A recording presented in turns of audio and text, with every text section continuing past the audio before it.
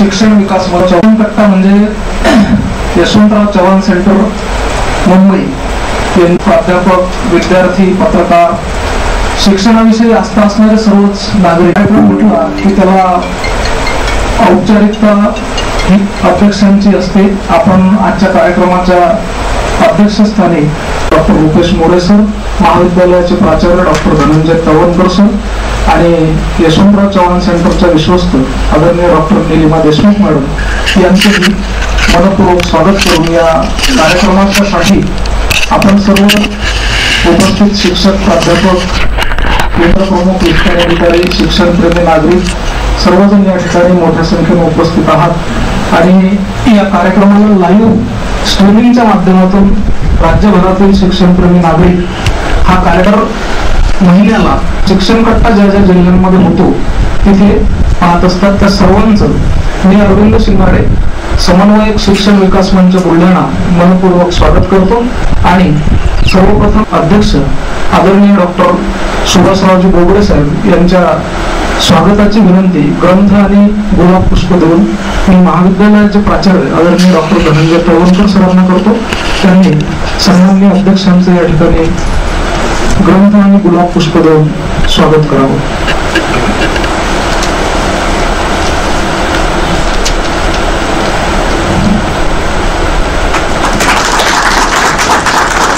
आजच्या या शिक्षण सरांचं स्वागत करतील अशी त्यांना विनंती आहे.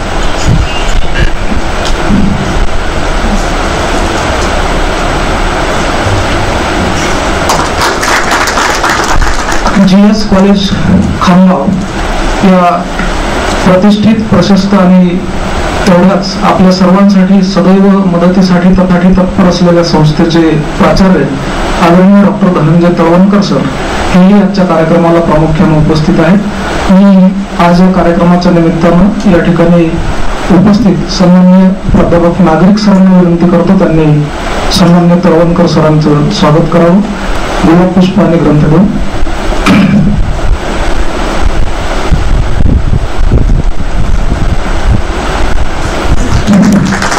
धन्यवाद त्यानंतर आज या कार्यक्रमाच्या निमित्ताने या ठिकाणी उपस्थित छत्रपती संभाजीनगर शिक्षण विकास मंचचे जिल्हा समन्वय आमचे मित्र डॉक्टर रुपेश मोरे सर यांच्या स्वागताची विनंती माझे सहकारी सर किशोर भागवत सर यांना करतो. त्यांनी रुपेश मोरे सरांचं गुलाब पुष्प आणि ग्रंथ भेट देऊन स्वागत करावं. डॉक्टर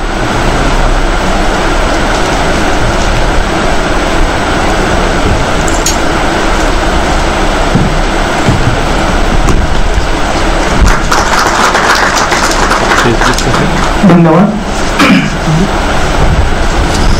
आपल्यामध्ये सर्व ज्येष्ठ श्रेष्ठ मंडळी उपस्थित आहेत. प्रत्येकाचं स्वागत करावं अशी आमची इच्छा आहे. अगोदरच आपण अर्धा तास लेट आहोत आणि सरांना परत पण त्यांच्या पूर्वनियोजित कार्यक्रमासाठी जायचं आहे. त्यामुळे इथे उपस्थित मोठमोठ्या संस्थांचे प्रतिनिधी शिक्षण साहित्य कला उद्योग पत्रकारिता वैद्यकीय आणि उच्च शिक्षण या क्षेत्रातील सर्व मान्यवर मंडळी आहे. त्या सर्वांचं मी शिक्षण विकास मंचच्या वतीनं जी एस कॉलेजच्या वतीनं आणि यशवंतराव चव्हाण सेंटरच्या वतीनं अतिशय मनापासून स्वागत करतो आणि टाळ्यांच्या गजरात आपणही सर्वांचं स्वागत करून हा स्वागताचा कार्यक्रम या ठिकाणी थांबूया.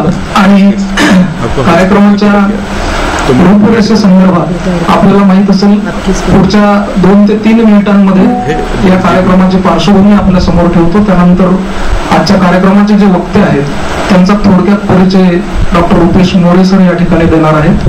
त्यानंतर आदरणीय डॉक्टर प्रवणकर सर आपल्याला शुभेच्छा देणार आहेत. डॉक्टर देशमुख मॅडम आपल्याला शुभेच्छा देऊन अध्यक्षांच्या शुभेच्छेने या कार्यक्रमामध्ये वक्ते आपल्या सर्वांसोबत संवाद साधणार आहेत. वक्त्यांचे सादरीकरण त्यांचं भाषण साधारणतः एक तास एवढं प्रेझेंटेशन सरांचं असेल. त्याच्यानंतर आपल्या सगळ्यांना जिथे शक्य आहे तिथे आपल्याला चर्चेत सहभागी सुद्धा व्हायचा आहे कारण अतिशय जिव्हाळ्याचा विषय आणि तेवढाच नवीन आपल्या सर्वांना तो आहे. त्यामुळे आपण चर्चेमध्ये सहभागी व्हावं अशी या कट्ट्याची एक कट्ट्याचा संकेत असतो की या सादरीकरणानंतर आपल्या मनामध्ये काही प्रश्न आहेत त्याबद्दल आपण सहभागी होऊ शकतो. तर असं या कार्यक्रमाचं स्वरूप आहे. उद्देश आपल्यासोबत ठेवताना एवढंच सांगेल की यशवंतराव चव्हाण सेंटर ही महाराष्ट्राचे माजी मुख्यमंत्री आणि या देशाचे माजी कृषी मंत्री सन्माननीय शरदचंद्रजी पवार साहेब यांनी करत आहेत. आणि या यशवंतराव चव्हाण सेंटरच्या वेगवेगळ्या विंग्स कार्यरत आहेत. ज्याच्यामध्ये युवा महिला शेती आरोग्य शिक्षण साहित्य कला आणि आरोग्य यामधील शिक्षण जो भाग आहे हा शिक्षण विकास मंच या नावाने संपूर्ण राज्यभर हा कार्यरत आहे. राज्यभरातील प्रयोगशील उपक्रमशील शिक्षकांना यामध्ये महाराष्ट्र राज्याचे माजी शिक्षण संचालक डॉक्टर वसंत काळपांडे साहेब यांनी जोडलेलं आहे आणि या संपूर्ण शिक्षण विकासचं संयोजन डॉक्टर काळपांडे सर करतात. शिक्षण मुंबईला यशवंतराव चव्हाणांच्या जयंतीला शिक्षण परिषदेचं आयोजन केलं जातं. ही राज्यस्तरीय असते आणि एका विषयावरती ही शिक्षण परिषद होते. यावर्षी जसं सगळ्यांच्या मनामध्ये उत्कंठ आहे की आर्टिफिशियल इंटेलिजन्स काय आहे येणारा काळ कसा असेल हा विषय घेऊन राज्यभरात हे शिक्षण कट्टे सुरू आहेत. मागील वर्षी भारतीय संविधान आणि शालेय शिक्षण या विषयावरती कट्टे झाले आणि त्याचा समारोप शिक्षण परिषदेमध्ये झाला. त्याच्या अगोदरच्या वर्षी द्विशिक्षकी शाळांचे सक्षमीकरण हा विषय घेऊन राज्यभर शिक्षण कट्टे झाले. आणि परिषदेमध्ये राज्यभरातील चर्चेचा सार मांडून काही या क्षेत्रातल्या तज्ज्ञ लोकांना तिथं बोलवलं जातं. असं एकंदरीत या कार्यक्रमाचं स्वरूप असतं. ही विश्वस्तांची एकत्र येऊन काम करणारी संस्था आहे. पक्ष विचार चळवळ याच्याशी कुठेही काही संबंध नाही. जे जो कोणी शिक्षण क्षेत्रामध्ये चांगलं काम करणार आहे तो या प्रवाहात सामील होऊ शकतो. आणि माझे मित्र आहेत किशोर भागवत सर हे बीड जिल्ह्यामध्ये कार्यरत होते. तेव्हापासून मागच्या दहा वर्षापासून ते त्याच्याशी जोडलेले आहेत. दोन हजार पंधरा पासून स्वर्गीय नरेंद्र लांगेवार सर यांनी मला शिक्षण विकास मंचशी जोडून घेतलं आणि तेव्हापासून आम्ही जिल्हा राज्यभरातल्या या सगळ्या कार्यक्रमांमध्ये सहभागी असतो. आज आपण आर्टिफिशियल इंटेलिजन्सचं गारूड आपल्या सगळ्यांच्या मनावरती आहे की येणारा काळ कसा असेल? आता सोशल इंटेलिजन्सच्या मुळे सुद्धा आता तशीच चर्चा व्हायला लागलेली आहे.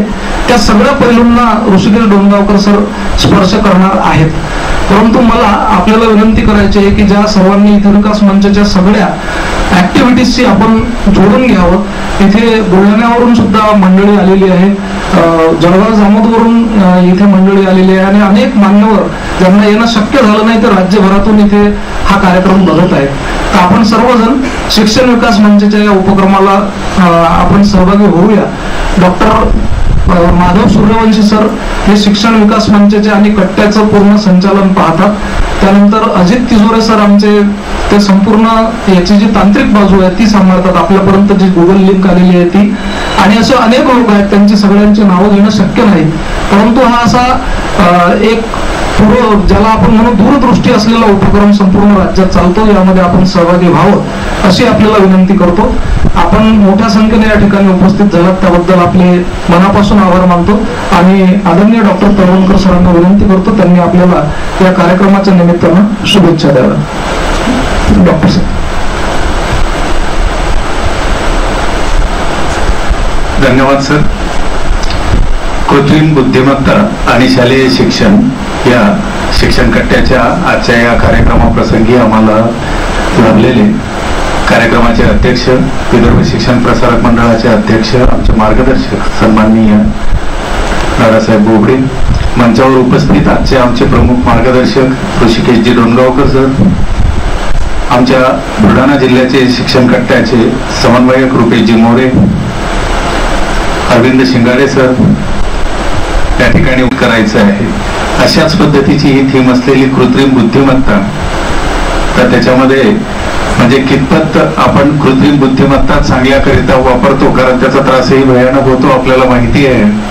डोनगावकर सर सांगतीलच की आपण मोबाईलमध्ये मोबाईल उघडल्याबरोबर आपल्याला जे पाहिजे आपण पहिल्या भाषेमध्ये आपण मनकवडा जे म्हणायचं तर त्या कृत्रिम बुद्धिमत्तेमुळे सगळा आपला मोबाईल मनकवडा झालेला आहे आपल्याला जे पाहिजे आहे काही न मागता आठवून पूर्ण अवेअरनेस आमचं करून देण्याकरिता डोंगावकर सर इथे आले आहेत. सर्वप्रथम तर हे या परिसरामध्ये या भूमीमध्ये गोसे महाविद्यालयाचा कार्यक्रम होतोय याचा मला मनस्वी आनंद आहे.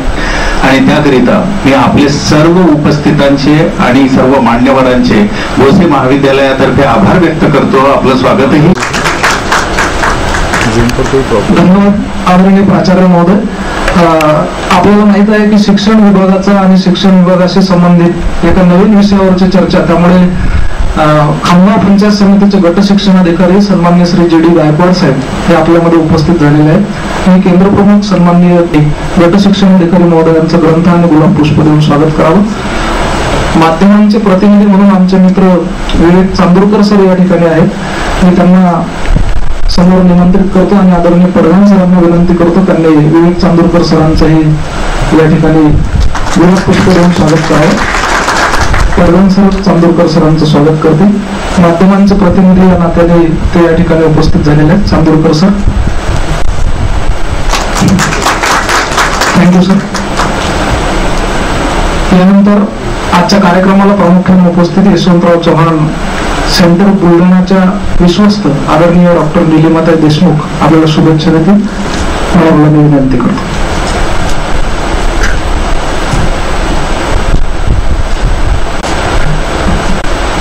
सन्माननीय आजच्या कार्यक्रमाचे अध्यक्ष या महाविद्यालयाचे प्राचार्य डॉक्टर तळवणकर सर डॉक्टर आजचे तज्ज्ञ मार्गदर्शक मोळे सर आजचा हा जो उपक्रम आहे तो आर्टिफिशियल इंटेलिजन्स प्रेझेंटेशन्स तयार करणे असो या सगळ्यांना आपण ए आय किंवा चॅट जी पी टी सारखे अनेक किंवा डायल ई सारखे जे इमेजेस तयार करण्याचे जे आपण आता सगळा सॉफ्टवेअर म्हणून आहे की ए आय असिस्टन्स जे आहे ते वापरून अगदी आपण क्षणाभरात आपलं जे आपण काम म्हणून अं, मजुरीचं काम आपण त्याला देऊ शकतो ए आयला पण आता माननीय वक्ते सांगतीलच आपल्याला पण मला असं वाटतं की याचे जे अं, थोडेफार धोके आहेत ते सुद्धा आपल्या सगळ्यांना ज्यावेळेला आपण पूर्णपणे वापरू एका एखाद्या वर्षामध्येच आपण सगळेजण तज्ज्ञ होऊन जाऊ त्याच्यामध्ये वापरामध्ये. आणि त्यामध्ये आपण एक लक्षात घेण्यासाठी गोष्ट आहे की इन्फॉर्मेशन आणि नॉलेज जरी तिथे असलं तरी विजडम जे आहे ते आपलं ह्युमन असेल. आणि म्हणून ही जी भीती आपल्या मनामध्ये आहे की ए आय जी आहे ती ओव्हरटेक करेल मानवी इंटेलिजन्सला तसं न होता आपण कसा योग्य आपल्या फायद्यासाठी त्याचा वापर करून ठेवू आणि आपल्या शैक्षणिक क्षेत्रामध्ये आपल्यासोबत आपल्या विद्यार्थ्यांचाही विकास करू शकू. यासाठी तज्ज्ञ मार्गदर्शक इथे आलेलेच आहेत. मी या कार्यशाळेसाठी शुभेच्छा देते आणि जी एस महाविद्यालय आणि करिअर सॉरी शिक्षणकर्ता यांचे अभिनंदन करते की असं हा जो विषय आहे त्यांनी तो घेऊन इथे सगळ्यांना एक मार्गदर्शनाची संधी उपलब्ध करून धन्यवाद. धन्यवाद मॅडम. अं, शिक्षण विषयक घडामोडी आणि या क्षेत्रात येणं हिरिरीनं स-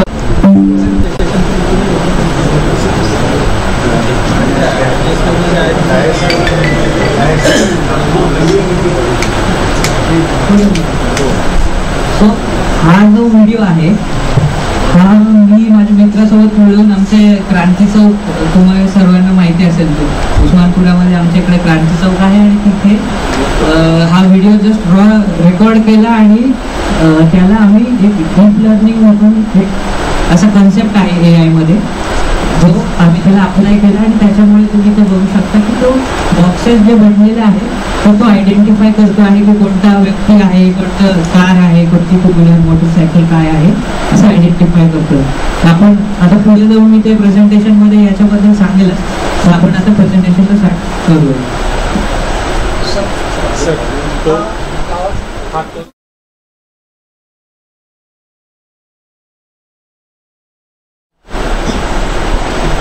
आपण त्याला इलॅबरेट करूया. म्हणजे मी ह्युमन बिहेवियर म्हणजेच याचा अर्थ असा की माणूस किंवा एक्सपर्ट सिस्टम आजपर्यंत तुम्ही सगळं पेपरवरती मुलांच्या अटेंडन्स नंतर काही मुलं हँड रिटन बुक्समध्ये लिहिताय वगैरे. आता हळूहळू तुम्ही बघत चालले असाल की तुमचे जे पेपर्स आहे तुम्ही ते स्कॅन करून ऍडॉपमध्ये ठेवता. नंतर वेगवेगळे सॉफ्टवेअर स्कॅन करून ठेवताय त्याला डिजिटल फॉर्मॅटमध्ये आणताय. हे काय होत आहे हळूहळू आपला पेपरवरून पेपरलेस आणि डिजिटल फॉर्मॅटमध्ये आहे आणि पुढे जाऊन ते एका याचं कुठेतरी ह्या डिजिटल डेटाचा वापर होणार आहे आणि तो वापर आपल्या पुढे एक्सपर्ट सिस्टम्स डेव्हलप करण्यासाठी होणार आहे जे की ए आय बेस्ड असणार. त्यासाठी हे सगळं डेटा जनरेशनचं काम सुरू आहे.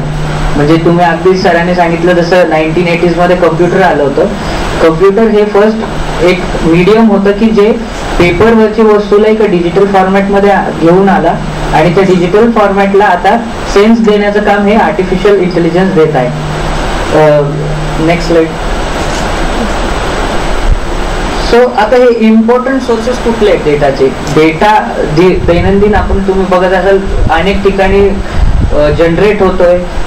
काही टेलिकॉम कंपनीजनी गेल्या काही वर्षांमध्ये आपल्याला खूप कमी किमतीमध्ये हा डेटा उपलब्ध करून दिलेला आहे. इंटरनेटच्या फॉर्मॅटमध्ये ते काय होतंय की इंटरनेटमुळे तुमचा जो लोकल सिस्टममध्ये डेटा आहे तुमच्या फोन फोन मधला जो डेटा आहे तो जगापर्यंत पोहोचतोय. त्याचे मीडियम वेगवेगळे आहेत. फेसबुक आहे इंस्टाग्राम आहे सोशल मीडिया साईट्स आहेत. जीमेल आहे. वेगवेगळे मीडियमने इंटरनेटच्या माध्यमातून हा तुमचा सर्वांना ऍक्सेसिबल किंवा एखादा दुसऱ्या व्यक्तीला ऍक्सेस करता येईल यासाठी इंटरनेटचं एक मीडियम तुम्ही वापरत आहे त्याच्यानंतर इमेज डेटा आहे. त्याच्यानंतर टेक्स्टुअल डेटा आहे ऑडिओ डेटा आहे. हा सगळा डेटा तुमच्या कुठे ना कुठे आर्टिफिशियल इंटेलिजन्स सिस्टम डेव्हलप करण्यासाठी उपयोगात पडत आहे. एक मी ऑडिओ डेटाचं एक साधं उदाहरण तुम्हाला देतो की टाट गुगल असिस्टंटबद्दल किती जणांनी वाचलंय? अलेक्सा बद्दल किती जणांना माहिती आहे? की आपल्या फोनमध्ये आहे तुम्ही कमांड देता आणि ते ते काम करतं. की प्ले म्युझिक म्हटलं तर ते एखादं चांगलं म्युझिक लावतील. ऍपलचं सिरी आहे. सो हे एक उदाहरण आहे. याला कसं काय कळायला लागलं की तुम्ही जे बोलता आहे आणि ते कसं काय तो अडॅप्ट करतोय आणि त्याच गोष्टी परफॉर्म करतो तर याला खूप सारा ऑडिओ डेटा आधी दिला गेलेला आहे. तुम्ही जे फोनवरती बोलता तुमचे जे संभाषण असतील किंवा जो व्हिडिओ डेटामधनं आपण ऑडिओ एक्सट्रॅक्ट करतोय याला कुठेतरी इंटेलिजन्स अप्लाय झालेलं आहे. आणि त्या माध्यमातून त्याला इंटेलिजन्स अप्लाय केल्यानंतर एक गुगल असिस्टंट सारखं सिस्टम आपण बनवलं. त्यानंतर इमेज डेटाचं इमेजमध्ये तुम्ही गुगल फोटोजमध्ये गेल्यानंतर तुम्हाला दिसेल की तो आयडेंटिफाय करून देतो की हा व्यक्ती कोण आहे. म्हणजे तुमच्या नावाचे सिमिलर फोटोज एका सेपरेट फोल्डर असेल तुमच्या मित्राच्या नावाचं सेपरेट असेल आणि तुमच्या रिलेटिव्हचं वगैरे असं. तो हा फेशियल रेकग्निशन करतो. म्हणजे याच्या आधी गुगलकडे तुमच्या सगळ्या इमेजेसचा डेटा होता. आणि त्याला त्याने ते तुम्ही जे जीमेल वरती अपलोड केलेला आहे तो डेटा हा आयडेंटिफाय करू शकतोय की हा तोच व्यक्ती आहे जो इथे आहे. म्हणजे या ए आयच्या सिस्टमला तुमच्या फेशियल फेसेसच्या कॉर्डिनेट्स वरून लक्षात आलेलं आहे की या व्यक्तीचं टेक्स्चर हे असं आहे. तर हे एक- कन्सेप्ट झाला त्याच्यामध्ये की तो फेस रेकग्नाइज होतोय आणि त्या फेशियल रेकग्निशन मुळे तुमचं हे इमेज इमेज डेटा तिथे तुमचा यूज झालेला आहे फेशियल रेकग्निशन सिस्टम बनवण्यासाठी. टेक्स्ट डेटा आहे तुम्ही बऱ्याच वेळा ओसीआरबद्दल काही लोकांनी ऐकलं असेल. हे ऑप्टिकल कॅरेक्टर रेकग्निशन म्हणून टेक्नॉलॉजी आहे. जे काय करतं की तुमचा जो पेपरचा डेटा आहे जो हँड रिटर्न किंवा प्रिंटेड फॉर्मॅट मधला डेटा असेल ते टेक्स्ट तुम्ही त्याचं इमेज काढून दिलं तर त्या इमेजमध्ये जी टेक्स्ट आहे ती फेच करून तुम्हाला टेक्स्टुअल फॉर्मॅटमध्ये किंवा टेक्स्ट फाईल मध्ये देऊ शकतो. हे ओसीआर आहे. हे सुद्धा पुढे जाऊन तुमचं चॅट जीपीटी किंवा असे जे टेक्स्ट लँग्वेज मॉडेल्स आहे ह्याच्यामध्ये मोठ्या प्रमाणात यूज मी ह्या सगळ्या गोष्टींना एक व्यवस्थितरित्या इलॅबोरेट करेल पुढच्या स्लाइड्समध्ये. तर आता प्रश्न आहे की हे ए आय आलं कुठून? म्हणजे हा आर्टिफिशियल इंटेलिजन्स हे सेकंड वर्ल्ड वॉरच्या दरम्यान ॲलन ट्युरिंग म्हणून आपले एक सायंटिस्ट होते त्यांच्या डोक्यात हा थॉट आला की मशीन सुद्धा माणसासारख्या विचार करू शकता का? त्याच्यानंतर हा नाईन्टीन फोर्टीजमध्ये आलेला हा त्यांच्या डोक्यातला विचार होता की मशीन्स देखील किंवा हे एक्सपर्ट सिस्टम्स किंवा ज्याला आपण कम्प्युटर म्हणतोय हे सुद्धा माणसासारखं विचार करू शकता का? याच्यावरती त्याने त्यावेळेला शोध लावला आणि मग नाईन्टीन फिफ्टी सिक्सच्या दरम्यान हे जॉन मॅकर्थी नावाच्या व्यक्तीने एक कॉन्फरन्स घेतली होती. तिथे याला आर्टिफिशियल इंटेलिजन्स असं एक नाव देण्यात आलं. त्याच्यानंतर एक नंतरच्या काळामध्ये पुढे जाऊन थोडे थोडे असे मॅथमॅटिकल कॉम्प्लेक्स टास्क वगैरे हे हे एक्सपर्ट सिस्टम सॉल्व्ह करायला लागले. पण मधल्या काळामध्ये सेव्हन्टीज एटीजमध्ये एक ड्राय विंटर आपण त्याला म्हणतो तो पिरियड त्याच्यामध्ये अशी म्हणजे लोकांचा या टेक्नॉलॉजी किंवा ज्याच्यावरती जी करण्या ज्या प्रमाणात इन्व्हेस्टमेंट करण्यात आली होती त्यातनं तितकं आउटपुट न आल्यामुळं त्या कालखंडाला आपण ड्राय विंटर म्हणण्यात आलं आणि तिथे एवढी काही या टेक्नॉलॉजीमध्ये एवढी ॲडव्हान्समेंट झाली नाही. कॉम्प्युटर वगैरे आले बट एक्सपर्ट सिस्टम्समध्ये एवढी ऍडव्हान्समेंट नाही झाली. बट लेटर लेटर ऑन जे की मशीन लर्निंग आणि हे अर्ली टू थाउजंडमध्ये यायला लागले. जिथे एन एल पी नावाचा जो मी नॅचरल लँग्वेज प्रोसेसिंग म्हणतोय जे की एलेक्सा सिरी आणि याच्यामध्ये यूज होतोय. हे याचं एन एल पीचं इव्होल्युशन व्हायला लागलं. नंतर दोन हजार दहाच्या नंतर डीप लर्निंग जे तुम्ही आता तुम्हाला आधी व्हिडिओ दाखवला होता हे डीप लर्निंग वगैरे हे अस्तित्वात यायला झालं आणि आता आत्ताच्या काळात सुद्धा इव्हॉल्व्ह होत आहे आणि तुम्ही रोजच्या रोज काहीतरी नवीन बघत चाललेला आहात. सोशल मीडियाच्या माध्यमातून तुम्हाला त्याच्यावरती हे दिसत असेल की सपोज राम मंदिरच्या वेगळ्या वेगळ्या इमेजेस ज्या की तुम्ही कधी नाही बघितलेल्या. हायपोथेटिकल इमेज जनरेट करून देत आहे आपल्याला ए आयचे टूल्स सो नेक्स्ट सो आत्ता आपण जो शिक्षण करता शालेय शिक्षणावरती आहे तर त्यामुळे मूळ आपला इथे प्रश्न येतो की शालेय शिक्षणामध्ये काय कुठपर्यंत आर्टिफिशियल इंटेलिजन्स पोहोचलेला आहे? तर स्टेट सीबीएसई हे पहिलं बोर्ड असेल आपल्या इंडियन एज्युकेशन सिस्टममध्ये जिथे ए आयबद्दल आता नवीन सिलेबसमध्ये आलेलं आहे आणि वोकेशनल सब्जेक्ट म्हणून ते सिलेबसमध्ये आहे. आय थिंक पाचवीचा शेवटचा धडा हा ए आयबद्दल दिलेला आहे. बट करंट सिच्युएशन बघता म्हणजे मी दोन हजार एकोणावीसला ज्यावेळेला ए आयबद्दल शिकत होतो त्यावेळेला पुण्यातच हार्डली जास्त क्लासेस नसावेत त्या काळात. आणि आज आज घडीला भरपूर क्लासेस आहे. अगदी औरंगाबाद संभाजीनगरमध्ये सुद्धा आहे आणि आपल्या परिसरात सुद्धा किंवा ऑनलाईन प्लॅटफॉर्म सुद्धा भरपूर वाढलेले आहे जिथं तुम्ही ए आयबद्दल शिकू शकता. म्हणजे चॅट जीपीटी बद्दल आता गेल्या एक दीड वर्षामध्ये थोडं त्याचं अवेअरनेस आले आणि ते लॉन्च झाले आणि यूज करण्यामध्ये येत आहे. पण त्याच्या आधी पायथन प्रोग्रामिंग आणि कोर ए आय वरती सर्वांचा फोकस होता. जे की आत्ताही डेव्हलपमेंट स्टेजला हे कोर ए आयच यूज होतं त्यावर पुढे त्याच्याबद्दल बोलूया. सो सीबीएसई मध्ये सीमध्ये आत्ता ते पाचवी ते दहावी पर्यंत शिकवत आहे. काही एक्सटर्नल ऑलिम्पियाड वगैरे काही प्रायव्हेट संस्था असतील जे ए आयबद्दल शिकवतात. आय सी एस सी मध्ये ॲज सच कुठे असं सिग्निफिकंट काम यामध्ये झालेलं दिसत नाही आणि स्टेट बोर्डमध्ये सुद्धा तीच परिस्थिती आहे की ए आयबद्दल कुठे अवेअरनेस नाहीये. बट काही इंडियन गव्हर्नमेंटने पोर्टल लॉन्च केलेलं आहे. ज्याची मी एक लिंक इथे दिलेली आहे.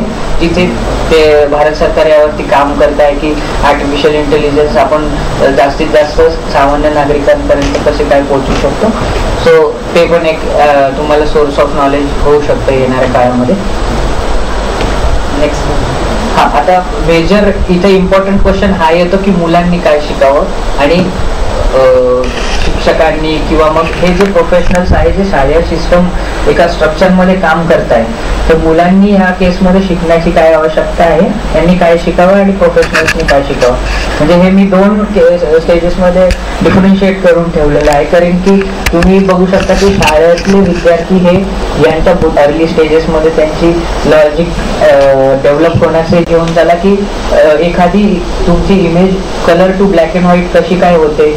त्याच्यानंतर ह्याच्या मागे सायन्स काय आहे हे समजून घेणं आवश्यक आहे.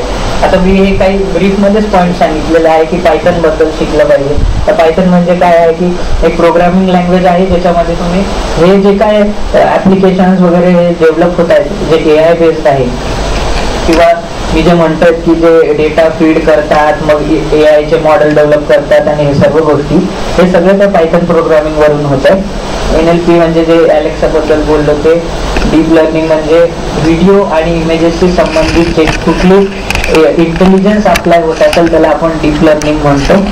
त्यानंतर कम्प्युटर विजन सुद्धा सिमिलर पार्ट आहे.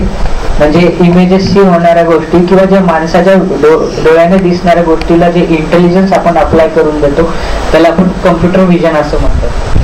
त्याच्यानंतर machine learning models machine learning models काय असतात की जिथे कुठे तुमचा डेटा अप्लाय झाला. म्हणजे हा तुम्हाला जे आधी मी सुरुवातीला सांगितलं की हे सगळं डेटाच आहे.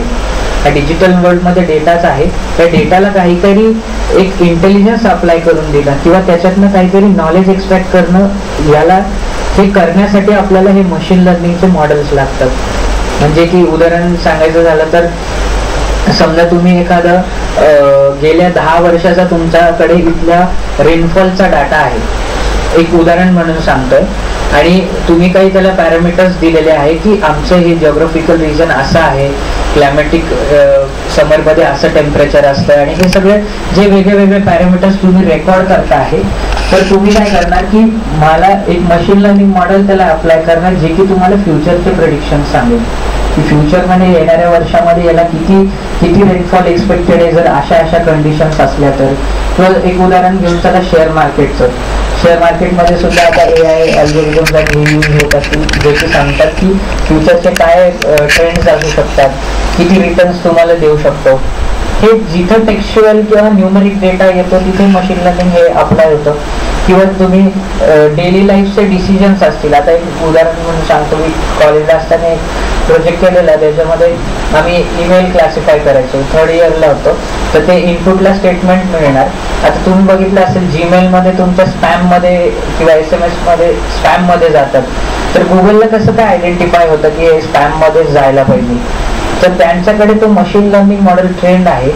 त्यांनी काय केलं की पूर्वी जेवढे पण मेसेजेस हे स्पॅममध्ये जाणारे असतील ते त्याला फीड इन केले की त्याला सांगितलंय.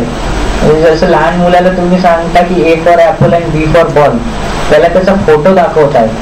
तसं सिमिलरली ह्या या आर्टिफिशियल इंटेलिजन्सच्या फील्डमध्ये तुम्हाला ट्रेनिंग द्यावं लागते. तर तसंच या स्पॅम ईमेल आयडेंटिफाय करण्यासाठी त्याला आधी खूप साऱ्या स्टेटमेंट दिलेल्या असतील.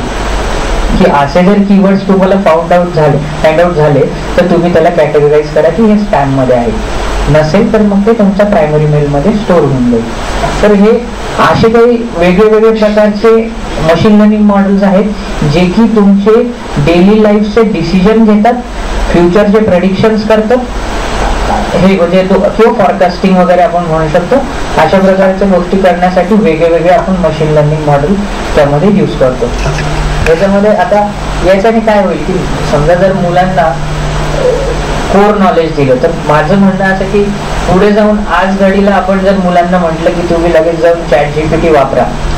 तर चॅट जीपीटी वापरल्याने त्यांना ते इझिली ऍक्सेसेबल होईल पण त्यांच्या डोक्याला तो ताण नाही येणार किंवा त्यांना ते कोर नॉलेजचा अभावच राहील त्यांच्यात. म्हणजे त्यांना जरी माहिती की बाबा अशी कमांड टाकल्यानंतर अशी इमेज जनरेट होते ठीक आहे मान्य आहे. पण ही इमेज होते कसं काय? इमेज असते काय? हे ज्या वेळेला त्यांना कळेल मग नंतर त्यांनी त्याला सोर्स ऑफ इन्कम जरी केलं पुढच्या काळामध्ये जाऊन टूल्स वापरून वगैरे तरी काही हरकत नाही. कारण की याच्यामध्ये दोन गोष्टी आहेत. की तुम्हाला जर ए आयमध्ये डेव्हलपमेंट साईडला जायचं असेल तर तुम्हाला ए आयचं हे जे टूल्स वगैरे हे सॉफ्टवेअर डेव्हलपमेंटच्या फील्डमध्ये भविष्यात मुलांना इंटरेस्ट असेल तर त्यांनी ते कोर नॉलेज घ्यावं. आणि न त्यांना जर फक्त त्या टूल्सचा यूज करून काही इन्कम जनरेट करायचं असेल किंवा डेली लाईफमध्ये त्यांना ते यूज करायचं असेल तर त्यांनी चॅट जीपीटी जेमिनी वगैरे बार्ड हे हे टूल्स वापरले पाहिजे. सो त्याच्याने काय होईल की लॉजिकल थिंकिंग डेव्हलप होईल. म्हणजे प्रोग्रामिंगचा बेसच हा दिलेला आहे. म्हणजे अगदी म्हणजे पूर्वी काळापासून प्रोग्रामिंग ही कशासाठी बनवलेली आहे की तुम्हाला ऍप्लिकेशन्स डेव्हलप करण्यासाठी. ऍप्लिकेशन्स कुठले? तर डेली लाईफमध्ये तुम्ही ते गोष्टी तुमच्या सोप्या करण्यासाठी. सपोज असं मी म्हणेल की माझ्या फोनमध्ये अलार्म आहे. अलार्मला मी एक डेट टाइम सोबत सेट करतो आणि मी उद्याच्या तारखेला पाच वाजता केलेला आहे. उद्या सकाळी पाच वाजता माझ्याकडे अलार्म वाजला. याची एक कुठेतरी प्रोग्रामिंग आहे. त्याला एक लॉजिक दिलेलं आहे की ट्वेंटी फोर आवर सायकल नंतर तो पाच वाजता रोज माझ्यासाठी वाजला पाहिजे. तर हे आणि त्याचा एक तुम्ही मध्ये आला जे फोन क्लॉकचं जे ऍप्लिकेशन आहे ते कसं दिसतं? त्याचं यू आय कसं आहे? त्याचं युजर एक्सपिरियन्स कसं आहे? हे सगळे एक सॉफ्टवेअर डेव्हलपर ते डेव्हलप करून देतो. तर हे डेव्हलप करत असताना त्याला कुठेतरी त्याचं लॉजिक यूज करावं लागलं. त्याला ते विचार करावा लागला की कुठलं बटन कुठे ठेवल्याने त्या युजरला जो ऍप्लिकेशन यूज करणार आहे त्याला ते सोपं जाणार आहे. हे सगळं एक कुठलंही सॉफ्टवेअर डेव्हलप करत असताना त्याला सगळ्या गोष्टीचा विचार करावा लागतो सगळे ऍस्पेक्ट डोक्यात घ्यावे लागतात. म्हणजे ते फेजेस आहेत की सॉफ्टवेअर कुठले डेव्हलप करत असताना कोण कोणतं काम करेल? कोणी म्हणेल मी फ्रंट एंड बनवेल कोणी बॅक एंड बनवेल कोणी डेटाबेस बनवेल. पण हे सगळ्या ओव्हरऑल जी सॉफ्टवेअर डेव्हलपमेंटची सायकल हे करण्यासाठी एक लॉजिक लागतं जे की मुलांचं डेव्हलप होऊ शकतं. पण माझं म्हणणं तेच आहे की पर्सनली मला असं वाटतं की आपण सर्वात पहिले मुलांना कोर नॉलेजकडे फोकस केलं पाहिजे. त्यांना हे शिकायला लावलं पाहिजे. नंतर जाऊन त्यांनी जर ते टूल्स यूज केले आणि त्याचा वापर केला तरी काही हरकत नाही. पण पहिले त्यांना हे माहिती होणं गरजेचं आहे की असं काहीतरी आहे आणि मग त्या गोष्टी इथून तयार झालेल्या आहेत. मग त्याच्यामध्ये प्रॅक्टिकल अप्रोच इम्प्रूव्ह होऊ शकतो मुलांचा. म्हणजे आता मी समजा आता एक दोन आठवड्यापूर्वी मी एका शाळेमध्ये पाचवी ते दहावीच्या मुलांना आम्हाला ए आयबद्दल सांगायचं होतं. बट ते असं झालं की तिथे ती शाळा पाचवीपर्यंतच होती. पण आम्हाला ते सुरुवातीला त्यांनी फार हे नाही केलं. त्यांचं म्हणणं आलं की आमच्या मुलांचा अं, अॅन्युअल फंक्शनचा प्रोग्राम आहे वगैरे आणि मग तुम्ही नंतर सायन्स डेच्या दरम्यान वगैरे घेऊ शकता. तर आम्ही त्यांना थोडं फोर्स केला आणि त्यांना सांगितलं की आम्हाला हा कोर्स आम्हाला मुलांना अवेअरनेस ऍटलिस्ट करू द्या की हे ए आय आहे काय तर मग त्या त्या दरम्यान मग त्यांचा आम्ही तो शेड्यूल केला आणि पहिली ते चौथीचे पाचवी पर्यंतचे मुलं बसलेले होते. त्या पहिली ते पाचवीच्या मुलांनी सुद्धा त्या ए आयच्या वर्कशॉपला मी त्यांना हेच सांगितलं की तुम्ही डेली लाईफमध्ये नकळत ठिकाणी ए आय यूज करताय बट त्याचं तुम्हाला कॉन्शियसनेसच नाही आहे जसं उदाहरण तुमचा फोन अनलॉक करताना तुम्ही फेस अनलॉक करून फोन हे करताय. तुम्ही ज्यावेळेस कॅमेऱ्याला कॅमेराला ते तुमचं फेशियल रेकग्निशन सेट करता त्यावेळेला फक्त त्याच्यासमोर उभे राहता एक सेल्फी घेता की तो तुमचे फेशियल फेसचे कॉर्डिनेट्स घेतो. आणि तो फोन नेक्स्ट टाइम अनलॉक होऊन जातो. सो ते झाल्यानंतर तुम्ही एक व्हिडिओ लागला. फेसबुकला एखादा व्हिडिओ बघितला. त्याच्याशीच रिलेटेड तुम्हाला नेक्स्ट व्हिडिओ दिसतो. म्हणजे काय होतं की हे सोशल मीडिया प्लॅटफॉर्म तुम्हाला एंगेज ठेवण्यासाठी रेकमेंडेशन सिस्टम नावाची टेक्नॉलॉजी यूज करतात. की एक व्हिडिओ एका त्यांना जर लक्षात आलं की समजा मला सायन्स विषयी एखादा व्हिडिओ आवडलेला आहे किंवा मी तो जास्त वेळ बघितलेला आहे तर तो नेक्स्ट टाइम मला एक सायन्सशी रिलेटेड किंवा त्या टॉपिक संबंधितच व्हिडिओ दाखवेल. सपोज मी कार संबंधी बघितलं तर नेक्स्ट टाइम मला कार बद्दलच दाखवेल. सो हे एंगेज करण्यासाठी हे मी मुलांना त्यावेळेला त्या वर्कशॉपमध्ये सांगितल्यानंतर त्यांचा तो त्या गोष्टींकडे बघण्याचा कदाचित नेक्स्ट टाइम दृष्टिकोन बदलेल. म्हणजे उद्या फोन त्यांनी हातात घेतल्यानंतर ऑटोमॅटिक नंबर प्लेट रेकग्नाइज होऊन तुम्हाला घरपोच ऑनलाईन एस एम एस वरती पावती वगैरे येणार. सो हे कसं काय वर्क करतं ते त्यांना तेच सांगितलं. म्हणजे त्याच्यातून असं झालं की नेक्स्ट टाइम कदाचित मला असं वाटतं तिथे बसलेल्या पन्नास साठ विद्यार्थ्यांपैकी काही विद्यार्थ्यांना पुन्हा ते आठवण येईल त्यावेळेस त्या कॅमेराजकडे बघितल्यानंतर फोनला बघितल्यानंतर. म्हणजे त्यांना असं कुठेतरी सेन्स येईल एक की आपल्याला माहिती आहे. हे. का बरं मुलं का बरं तिथे सायकोलॉजिकली ऍडिक्ट होतात? कारण की त्यांनी ते कधी बघितलेलं नसतं आणि की ती गोष्ट त्यांना इंटरेस्टिंग वाटते. पण ज्या वेळेला त्यांना ती त्याच्या मागचं रूट कॉज ज्या वेळेला आपण सांगतो तर त्यांना ते माहिती असतं की हे काय हे आपल्याला कंट्रोल करण्याचा प्रयत्न करते बट आपण त्याच्यापेक्षा हुशार आहोत आणि आपण त्याला करू शकतो. जसं की फोर व्हीलर शिकत असताना सुरुवातीला आपण थोडेसे हे असतो की घाबरलेला असतो आणि नंतर ओव्हर पिरियड जो कॉन्फिडन्स डेव्हलप होतो तर आपण तिला कंट्रोल करतो. सेम सेन्समध्ये जर तुम्हाला कॉन्शियस मुलांना जर ही कॉन्शियसनेस आली की टेक्नॉलॉजी काय आहे कसं वर्क करतं याच्या मागचं सायन्स जर कळालं तर ते त्या टेक्नॉलॉजीला यूज करतील. ती टेक्नॉलॉजी त्यांच्यावरती इम्पॅक्ट नाही टाकू शकत तेवढं. सो यासाठी असं वाटतं की त्यांना त्यांचं कोर नॉलेज येणं आवश्यक आहे. नेक्स्ट आता सेकंड क्वेश्चन येतो की प्रोफेशनल्सने काय शिकावं? मी इथे म्हणजे तसे मार्केटिंग मार्केटमध्ये भरपूर टूल्स अवेलेबल आहे. याचं मेन जसं मी सांगितलं मशीन लर्निंग किंवा ए आयचे मॉडेल्स डेव्हलप करण्यासाठी डेटा हा मेन सोर्स आहे. इथं प्रोफेशनल्सला आता ऑलरेडी मार्केटमध्ये टूल्स अवेलेबल आहे चॅट जीपीटी आहे जेमिनी आहे वार्ड आहे किंवा कॅनोआ आहे क्विलबॉट आहे. असे खूप असंख्य टूल्स आहेत. प्रत्येक टूलचं काहीतरी ऍप्लिकेशन आहे जे मी थोडंफार याच्यामध्ये आता इलॅबोरेट करेलच. पण याचा एक बेस सायन्स काय आहे याच्या मागे की तुम्हाला ह्या सिस्टम्सला कमांड देता आली पाहिजे. ज्याला की मॉडर्न आता सध्या टर्म्समध्ये प्रॉम्प्ट इंजिनिअरिंग म्हणतो वापरून कोणी पाहिलं आहे चॅट जीपीटी इंटरनेट आहे काहीतरी क्रोम क्रोम ऑन क्रोम नहीं है ब्लू वाला. ब्लू वाला. हाँ. आपण काय करूया एक मी तुम्हाला शॉर्ट दाखवतो की हे चॅट जीपीटी कसं वर्क करतं आणि याच्यातनं तुम्ही तुमच्या आवडीची माहिती कशी घेऊ शकता. चॅट जीपीटी मी आता शॉर्टमध्ये सांगतो तुम्हाला याच्यामध्ये ना दोन प्रकारचे मॉडेल्स आहेत. एक फ्री व्हर्जन आहे एक पेड व्हर्जन आहे. फ्री व्हर्जन तुम्हाला काय करणार की त्याच्यामध्ये टेकतो सो चॅट जी जनरेट करण्यासाठी क्वेश्चन तरी ऍटलिस्ट जनरेट करू शकता क्वेश्चन फ्रेम करू शकता. किंवा मुलांना एक चांगला कन्सेप्ट कसा समजून सांगता येईल आपल्याला?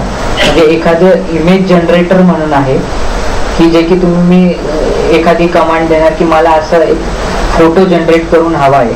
की ज्याच्यामध्ये उदाहरण घेऊयात आपण की तुमच्या स्वतःचा स्वतःचा नाही म्हणता येणार बट एक हायपोथेटिकल की तुम्ही ताजमहलला आहात ताजमहल दिल्लीला पोहोचलेला फेमस व्यक्तीचा तुम्हाला कुठे किंवा देवाचा फोटो असं बघायचा असेल तर तुम्ही हे इमेज जनरेटर्सवरून ते डेटा जनरेट करू शकता. सो असं आणि त्याने काय होईल की तुम्हाला मुलांना काही कन्सेप्ट समजून सांगायचे शाळेतले. समजा एखादा सायन्सचा कन्सेप्ट तुम्हाला मुलांना समजून सांगायचा आहे आणि त्याच्याशी रिलेव्हंट इमेज तुम्हाला सापडत नाही गुगलवरती आज घडीला स्कूल्समध्ये सगळीकडे प्रोजेक्टर आणि स्मार्ट बोर्ड आहेत. तर तुम्ही क्वालिटीचा कंटेंट जनरेट करण्यासाठी हे टूल्स यूज करू शकता. म्हणजे तुम्ही व्हिडिओ जनरेट करू शकता हायपोथेटिकली म्हणजे आता चॅट जीपीटीचा नवीन मॉडेल आलेला आहे तो तुम्हाला काय करून देतो? की तुम्ही जे प्रॉम्प्ट टाकणार तसा तो तुम्हाला व्हिडिओ जनरेट करून देणार. मी सांगेल की सुपरमॅन इंडियामध्ये एका चांगल्या लोकेशनला मुंबईमध्ये फिरतोय रोडवरती मरीन ड्राईव्हला. मी असं जर फोटो व्हिडिओ मागितला तर कदाचित येणाऱ्या काळामध्ये चॅट जीपीटी तो तुम्हाला जनरेट करून देऊ शकतो किंवा यांचे जे लँग्वेज मॉडेल्स आहेत. सो अशा प्रकारे तुम्हाला त्यातनं इन्फॉर्मेशन मिळेल. म्हणजे हे झाली तुमची टेक्स्ट इन्फॉर्मेशन तुम्हाला चॅट जीपीटी देणार व्हिडिओ जनरेट करून देणार इमेज जनरेट करून देणार. त्याच्यानंतर झालं तुमचे प्रेझेंटेशन्स तुम्ही वर्गामध्ये मुलांना पीपीटी वरती काही कॉन्सेप्ट शिकवत असणार कदाचित. म्हणजे आमच्या काळात म्हणजे मी दहा वर्षपूर्वी पाच वर्षपूर्वी बोर्ड आणि चॉक वगैरे हे वापरूनच शिकवायचे. पण आज घडीला सर्वांना मुलांना स्मार्ट बोर्ड्स त्याच्यानंतर प्रोजेक्टर्स आणि हे टेक्नॉलॉजीज अवेलेबल आहेत. तर तुम्ही हे हे यूज करून ए आयचे टूल्स यूज करून मुलांना थोडं एफिशियंटली त्यामध्ये अजून शिकवू शकता. Video data image data texture data आणि ॲक्युरेट माहितीही पुरवठा करू शकता. म्हणजे पूर्वी काळात अकरावी बारावीला किंवा नववी दहावीला सुद्धा रेफरन्स बुक्सचा एक कन्सेप्ट होता की तुम्ही काही बाहेर काही एक्स्ट्राचे कन्सेप्ट हे रेफरन्स बुकमधून रेफर करून मुलांना ते रेकमेंड करत होते की हे तुम्ही वाचू शकता. त्या केसमध्ये तुम्ही तुमच्या ज्या नोट्स तुम्ही मुलांना बनवून देत आहेत ते किती प्रिसाईज किंवा किती ॲक्युरेटली किंवा अजून माहिती त्याबद्दल जर मुलांना दिली किंवा डेली लाईफ एक्झाम्पल सांगताना तुम्ही त्यांना कोरिलेट करून देऊ शकले ह्या गोष्टींसोबत तर ते मुलं अजून त्या कन्सेप्टला चांगलं शिकण्याचा प्रयत्न करतील. तर हा ही जी इन्फॉर्मेशन आहे ही तुम्हाला हे चॅट जीपीटीचे टूल्स जनरेट करून देतील. आपण आता काय करूयात? आपण त्याच्यावरती बघू की कसं काय डेटा जनरेट कर केला जातो याच्यावरती.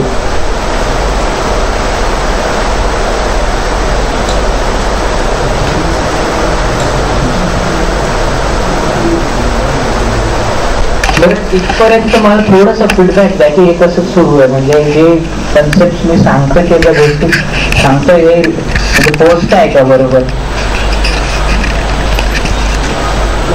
इकडे पण ना म्हणजे असं लिंक तुटली नाही पाहिजे मेन म्हणजे. आता इथे एक प्रॉम्प्ट आपण टाकूयात. काय सर्च करू? आता खाली जे तुम्हाला तिथे टेक्स्ट बॉक्स अर्पित. नीचे मैसेज आता हे याचं फ्री व्हर्जन आहे. फ्री व्हर्जनमध्ये तुम्हाला टेक्स्टचा डेटा मिळून जाईल. मी इथे काही इन्फॉर्मेशन टाकली की मला हिस्टॉरिकल माहिती पाहिजे. मला शि- छत्रपती शिवाजी महाराजांबद्दलची माहिती हवी आहे. तर ते मला समरी करून देईल त्याला चॅटजीपीटीला जर सांगितलं की मला फिफ्टी वर्ड्समध्ये छत्रपती शिवाजी महाराजांची ब्रीफ करून पाहिजे किंवा पाचशे वर्ड्समध्ये पाहिजे मला लगेच त्याचे एका मिनिटात आन्सर मिळेल. सो हा बेनिफिट आहे. म्हणजे तुम्ही त्याला आता science question of fifth standard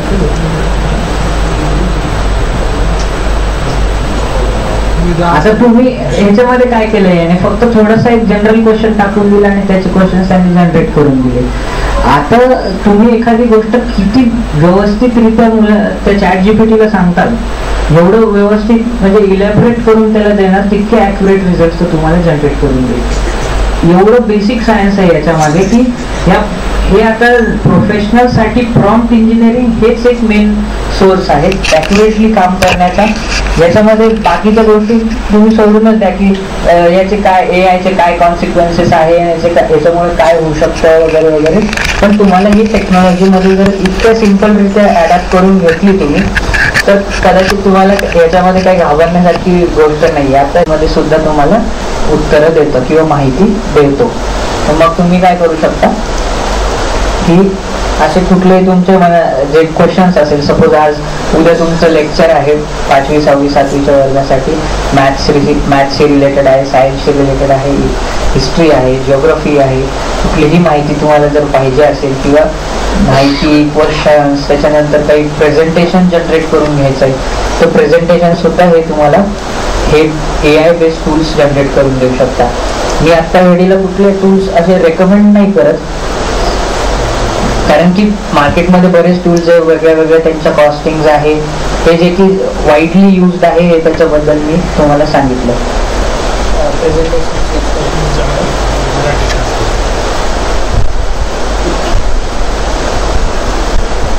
आता एक नाही काय तर ह्याच्यामध्ये क्विल बॉटबद्दल लिहिलेलं आहे. क्विल बॉट काय करतो? क्विल बॉट तुमचे ग्रॅमॅटिकल मिस्टेक करेक्ट करू शकतो. समजा तुम्ही काही मेल लिहिलाय. किंवा काही तुम्हाला लिहायचं आहे समजा इंग्लिश डेटा आहे तर तो काय करेल? तुमचे ग्रॅमॅटिकल मिस्टेक्स करेक्ट करून देईल. किंवा तुम्हाला असं त्याच्याशी अल्टरनेटिव्ह शब्द पॅराफ्रेझिंग करून देईल. म्हणजे हे सुद्धा ए आयच्या थ्रू तुम्हाला होत आहे. नेक्स्ट आहे ह्याच्यामध्ये इमेज आणि व्हिडिओ जनरेटरबद्दल बोललो. प्रेझेंटेशन जनरेटरबद्दल बोललो. नंतर पॅराफ्रेझिंग हे क्विलबॉट तुम्हाला करून देऊ शकतं. आता शाळा म्हणजे फक्त शिक्षक आणि विद्यार्थी एवढे दोनच ऍस्पेक्ट नाही त्याच्यामध्ये तुमच्या शाळेमध्ये अकाउंट डिपार्टमेंट आहे मार्केटिंग डिपार्टमेंट आहे ऑपरेशन हँडल करणारे लोक या लोकांना सुद्धा ते मार्केटिंगचा टूल म्हटलं. तर जसं मी म्हटलं इमेज जनरेशनमध्ये काम येईल काही टूलना काम येऊ शकतं. चांगला कंटेंट बनवून काही माहिती पाहिजे आणि मला ते शेवटीला माझ्या शाळेचं नाव वगैरे आलेलं पाहिजे. तर चॅट जीपीटी तुम्हाला तशा प्रकारे तो कंटेंट जनरेट करून देईल. खाली फुटरला तुमच्या शाळेचं नाव देईल आणि सगळ्या गोष्टी तो देऊ शकतो. सांगायचं म्हणजे स्कूलची मार्केटिंग असेल किंवा तुमच्या इन्स्टिट्यूशनबद्दल काही तुम्हाला लेख काही पाठवायचा असेल याच्यानंतर मॅथमॅटिकल कम्प्युटेशन तर एक्सेल शीट जर तुम्ही यूज करत असाल तर एक्सेलमध्ये काही फॉर्म्युलाज असतात. बरेच फॉर्म्युलाज आहेत आणि बऱ्यापैकी वेळेस असं आपल्याला होतं की ते आठवायला कधी कधी वेळ लागतो. तर गुगलने काही एक्सटेन्शन असे दिलेले आहेत की तुम्ही फक्त त्याला प्रॉम्प्टच द्यायची की कॉलम ए आणि कॉलम बीचं मला प्लस करून कॉलम सी मध्ये दाखवा. असं जर तुम्ही फक्त त्याला प्रॉम्प्ट जरी दिली तरी तो तुम्हाला त्याचे आन्सर्स देऊ शकतो. सो असे काही टूल्स आहेत. म्हणजे तुमचं आता मॅथमॅटिकलचं झालं इमेज डेटाचं झालं व्हिडिओ डेटाचं झालं. प्रेझेंटेशनसाठी सुद्धा तुम्ही त्याला एलॅबरेट करून द्यायचं की मी ह्या या गोष्टीसाठी मला पाहिजे आहे प्रेझेंटेशन बनवून तर तो ऑटोमॅटिकली जनरेट करून देईल आणि नंतर तुम्ही ते पीपीटी फॉर्मॅटमध्ये जर डाउनलोड केलं. तर मग ते तुम्ही एडिट करू शकता तुमच्या मनाने. म्हणजे आज घरी तुमचं अर्धं काम तिथे होऊन गेलं. तुम्हाला एक थीम मिळाली तुमचं ज्या प्रेझेंटेशन ज्याच्यासाठी तुम्ही करताय त्याच्यासाठी काही त्यांनी डेटाची अरेंजमेंट्स करून दिली आणि तुमच्या मनाने तुम्ही ते कस्टमाइज करू शकता. म्हणजे काय होईल की इथे तुमचा क्वालिटी कंटेंट जनरेट होईल तुमचा टाइम वाचेल आणि कुठेतरी तुमच्या डोक्यामध्ये जे शब्द नसेल आलेले ते कदाचित ते पॉईंट सुद्धा त्या माध्यमातून तुमच्यासाठी अवेलेबल होऊ शकतात. नेक्स्ट हे त्याच्याबद्दल सांगितलं. की लँग्वेज ट्रान्सलेटर सुद्धा आहे. की Marathi to English English to Marathi किंवा वर्ल्ड मधले कुठल्याही लँग्वेजेस आहेत. तर त्याच्यामध्ये तुम्हाला गुगलचे ट्रान्सलेटर गेल्या काही वर्षापासून आहेत. ओपन सोर्समध्ये अवेलेबल हे सुद्धा तुम्ही तुमच्या डेली लाईफमध्ये यूज करू शकता. ओ सी आरबद्दल मी आधी बोललो. त्याच्यानंतर टेक्स्ट कंटेंट जनरेशन म्हणजे चॅट जीपीटी थ्रू होतो. टेक्स्ट टू व्हिडिओ बद्दल सुद्धा आता रिसेंटली आलेला आहे की टेक्स्ट दिल्यानंतर व्हिडिओ सुद्धा तुम्हाला जनरेट होऊन होतोय. तर ही खूप मोठी गोष्ट आहे की टेक्स्टवरून तुम्हाला तुमच्या आवडीचा व्हिडिओ जर तयार होत असेल तर ते ऑटोमॅटिकली हे ए आय थ्रू आर्टिफिशियल इंटेलिजन्सच्या मदतीने होत आहे. नेक्स्ट तर आता आपण बोलत होतो की ह्याचे बेनिफिट्स काय आहे स्कूल एज्युकेशन सिस्टममध्ये आता बऱ्यापैकी वेळेला असं आहे की तुम्हाला असेसमेंट करता येते की मुलांनी जर एखादा पेपर लिहिला काही टूल्स पण आता अवेलेबल होत आहेत की जेणेकरून तुम्हाला मुलांचं एक पूर्ण तुम्ही वर्षभराचं जशी त्याची प्रोग्रेस रिपोर्ट आहे एका टूलमध्ये तुम्ही तुमचा ई आर पी किंवा काही येणाऱ्या काळात काही सॉफ्टवेअर डेव्हलपर्स तुमच्याकडे ते प्रोडक्ट घेऊनच येणार. की तुमचं स्कूलचं आम्ही पूर्ण मॅनेजमेंटचं सॉफ्टवेअर देतो किंवा कदाचित आताही काही शाळेमध्ये असतीलच. ज्याच्यामध्ये काय होतं की तुमचा डेटा एका ठिकाणी कंबाईन होतोय पॅरेंट्सला त्याच्या मुलाचं प्रोग्रेस कळते आणि त्याच्यावरती तो हे करून देऊ शकतो एक रेकमेंडेशन सिस्टम करून देऊ शकतो की ह्या केसमध्ये मुलाने काय प्रिकॉशन घ्यायला पाहिजे किंवा टीचर्सने काय कोणत्या स्किल सेटवरती त्याच्या हे केलं फोकस केला पाहिजे ह्या सर्व गोष्टी त्या ए आयच्या मदतीने आपल्याला येणाऱ्या काळामध्ये कर करता येतील. ए आर एनास एनहान्स टीचिंग म्हटलं तर आता एक ऑगमेंटेड रियालिटी आणि व्हर्च्युअल रियालिटीचा एक कन्सेप्ट आहे. ज्याच्या थ्रू काय होतं की तुम्हाला हे रिअल स्पेसमध्ये दिसतो. व्ही आरचे गॉगल्स जे असतात. जेणेकरून त्यांनी जर ते डोळ्याला गॉगल लावले तर सपोज एखादं तुम्ही असं सिनरी किंवा फिजिक्सचा फॉर्म्युला दाखवताय. की मी असा बॉल फेकला ह्या विलॉसिटीने इतक्या अँगलवरती तर ते कसं दिसेल? तर मुलांना जर ते व्ही आर गॉगल्स घातले तर ते रिअल वर्ल्डमध्ये त्यांना ते दिसेल. इमॅजिनेशनची पॉवर ही डेव्हलप होऊ शकते. सो असे वेगळ्या वेगळ्या गोष्टी आहेत ज्या की येणाऱ्या काळामध्ये आपल्यासमोर आपल्याला पाहायला मिळतील. आणि मग सातत्याने हे बोललं जातं की ए आयमुळे जॉब लॉसेस होऊ शकतात का याचे कंटेजेस आहे किंवा काय. तर एवढं सोपं आहे की तुम्हाला प्रोफेशनल्सनी सरळ सरळ प्रॉम्प्ट वरती भरोसा ठेवायचा त्याच्याबद्दल थोडंफार शिकून घ्यायचं. जसं की तुम्ही एखाद्या व्यक्तीला बोलताय जे संभाषण तुम्ही करताय तसं प्रकारे या टूल सोबत तुम्हाला कम्युनिकेशन ठेवायचं आहे आणि जितकं ॲक्युरेटली त्यांना कमांड देणार तेवढं ॲक्युरेटली तो तुम्हाला रिझल्ट देऊ शकतो. आता काही कोणाचे प्रश्न असतील वगैरे आपण त्यावरती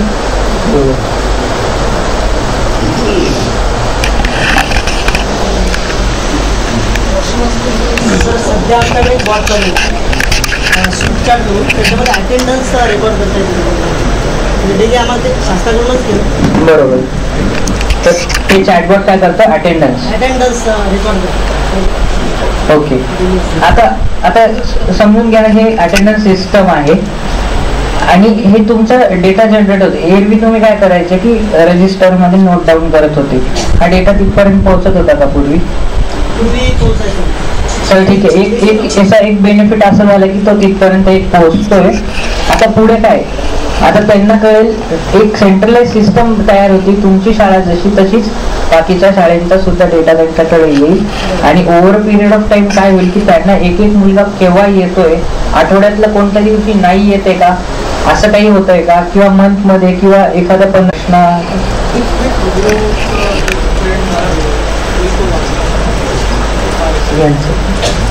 तो डीपफेक हा डीपफेकचं एक थ्रेट आहे येणाऱ्या काळामध्ये. आता याच्यामध्ये ना एक मेजर एक असा ऍस्पेक्ट आहे की आपल्या देशामध्ये कुठलीही टेक्नॉलॉजी आणत असताना आपल्याला ते डायरेक्टली ओपन टू ऑल करून देण्यात येते. कुठलीही टेक्नॉलॉजी आणत असताना जर त्याच्यावरती एक फ्रेमवर्क सेट नाही करू शकली गव्हर्नमेंट किंवा जी कुठली ऑथॉरिटी आहे त्याला जर एक नियमवाली नाही ठरवून देऊ शकली तर त्याचे मग चांगले वाईट परिणाम आपल्याला बघायला मिळतात. ज्याचा एक थ्रेट म्हणून डीप डीपफेक्टकडे आपण जास्त प्रमाणात बघत चाललो की डीपफेक्टचे वाईट परिणाम पण खूप होऊ शकतात येणाऱ्या काळामध्ये. की जर एखादी गोष्ट मी बोललेलोच नाहीये ती जर ह्या डिफेक्टच्या माध्यमातून कुठे दाखवण्यात आली तर मग याचे परिणाम वाईट होऊ शकतात. तर त्या त्याच्यासाठी एक शासनाने कुठंतरी एक स्ट्रक्चर किंवा फ्रेमवर्क सेट करणं गरजेचं आहे असं मला वाटतं सर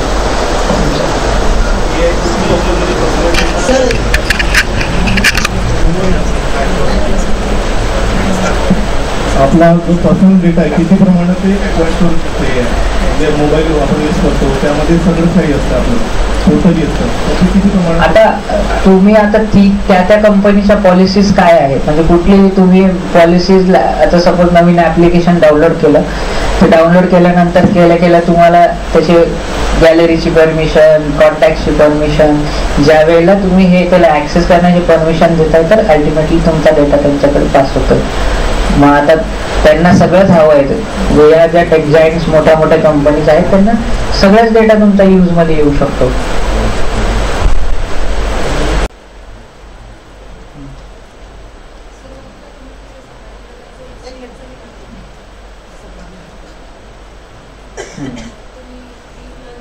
हा डीप लर्निंग हा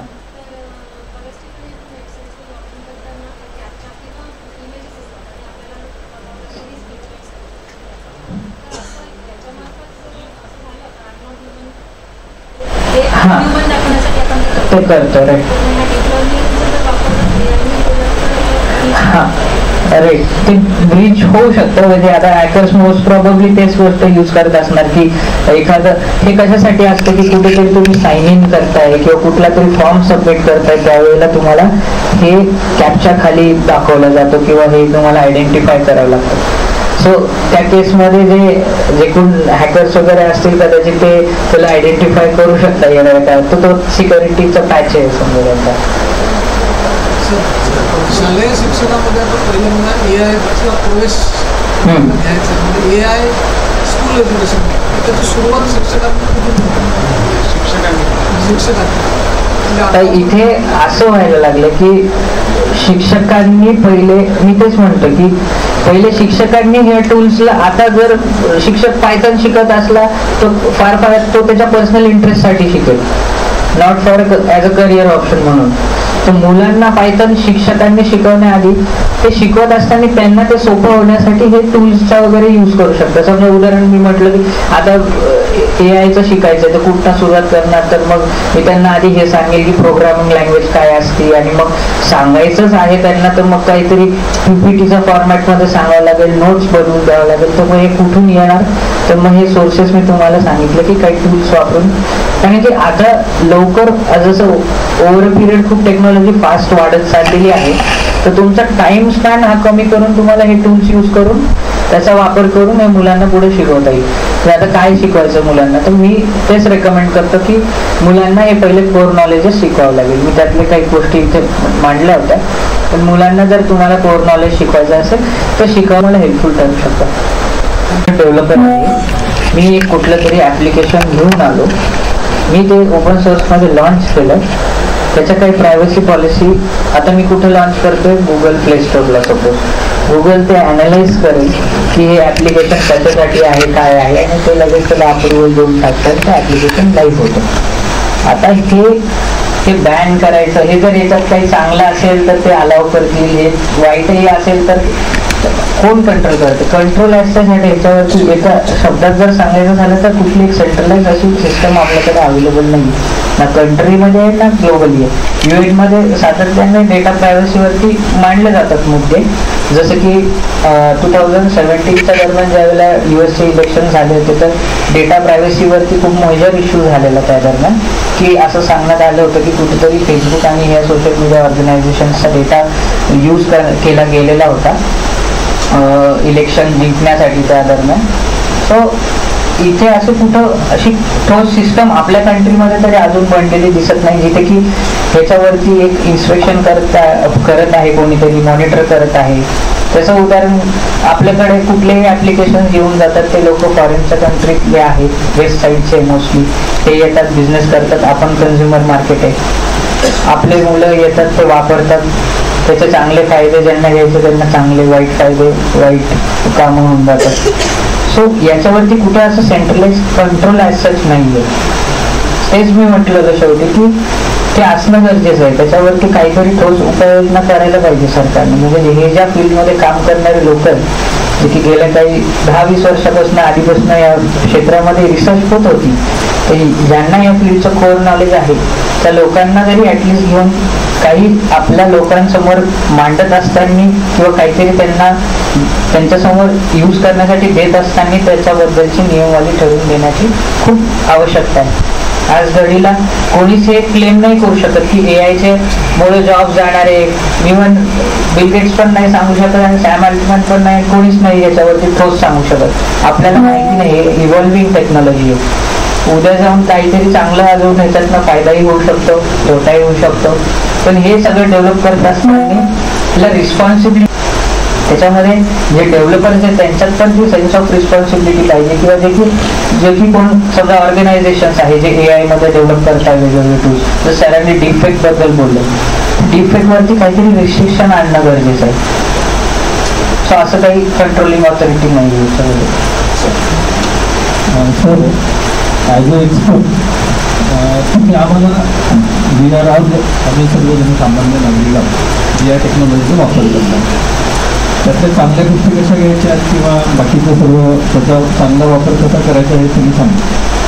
ॲज अ एक्सपर्ट तुम्ही आमच्यासाठी काय सांगाल की डीपफेक गोष्टी आहेत किंवा आमचा पर्सनल डाटा आहे की हा किंवा एखादा युजर आहे त्याचा वैयक्तिक त्या फोनमधला किंवा त्याच्या कम्प्युटरमधला डाटा हा कुणी डिफेक्टच्या माध्यमातून किंवा बाकीच्या सगळ्या माध्यमातून त्यांनी यूज करू नये समोरच्या त्याच्यासाठी तुम्ही आम्हाला काय सजेस्ट कराल की आम्ही काय काळजी घेतली पाहिजे? एक दुसरी गोष्ट डिफेक्ट जी हे आहे ते करत असताना नेमका कुठल्या प्रकारचा वापर केला जातो?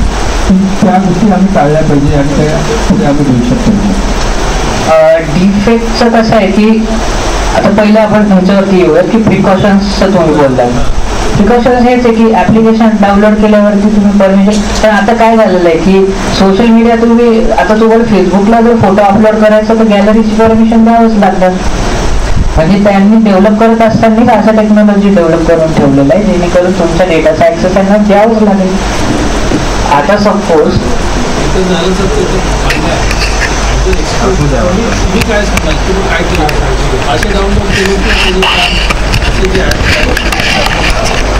नाही आता आता सपोज जर मी म्हटलं की गुगलचं गुगलचंच प्रोडक्ट ऑथेंटिक आहे तर हे लोकच माझ्यावर असतील की तू गुगलच्या प्रोडक्टला नाव ठेवतो आणि मग कसं काय असतं हा मी तेच वाटतं आता त्यांनी म्हणजे स्ट्रक्चरच याचं असं बनवलेलं आहे की सपोज आता तुम्ही जर जीमेलला गॅलरीची परमिशन नाही दिली तर तुम्हाला इमेज अपलोड नाही करता येणार. सो डेव्हलप करत असताना आता पण पुढे आलेलो खरं सांगायचं म्हणजे डिफेक्टचं एक आहे. डिफेक्टचं जे तुम्ही म्हणताय की डिफेक्टसाठी लागतं इमेज डेटा किंवा व्हिडिओ डेटा हे काय करेल? खूप सारा व्हिडिओ डेटा तुमचा कंपाईल करेल तुमचं बोलण्याचे एक्सप्रेशन्स हावभाव हे तो मॅच करेल. आणि त्याच्यावरतून त्याला एक टेक्स्ट टेक्स्ट डेटा देऊन टाकेल की तुला हे बोलायचं आहे. तर ऑटोमॅटिकली तुमचं लिपचे मुवमेंट्स तुमचे एक्सप्रेशन्स त्या पद्धतीने होतील. ते ए आय सिस्टम्स ते ऑलरेडी कुठतरी ट्रेनिशनच नाही दिलं तर यूजच नाही करता येते. हा हा मेन इश्यू झालेला म्हणजे डेव्हलप करत असताना मी तेच पुन्हा तेच सांगतोय की आपल्याकडे जर आपल्या नागरिकांना जर एक गेल्या दहा पंधरा वीस वर्षामध्ये आलं किंवा इथून पुढे येत चाललंय आपण कोणीच त्याच्यावरती काही बोलत नाही. म्हणजे आपण काय बोललोय? आपण तर कन्झ्युमरच आहे का ठीक शासनच्या लेवलवरती किंवा इथे काही त्याच्यावरती काम नाही केलं गेलं. किंवा होणारी होते ईव्हीएम हॅक करण्यासाठी तुम्हाला झालं पाहिजे. तर टूच्या बटन मग थ्री येणारच ना. म्हणजे मी कॅल्क्युलेटर टॅप करेल two plus two equal to four तर plus two plus two equal to six होऊन जाईल का कारण मी बॅकेटला कमांड तशी दिलेली? तिथं काही सुपर सायन्स नाही आहे ते केलं की नाही मी हे नाही सांगणार. म्हणजे मला नाही माहिती त्याबद्दल.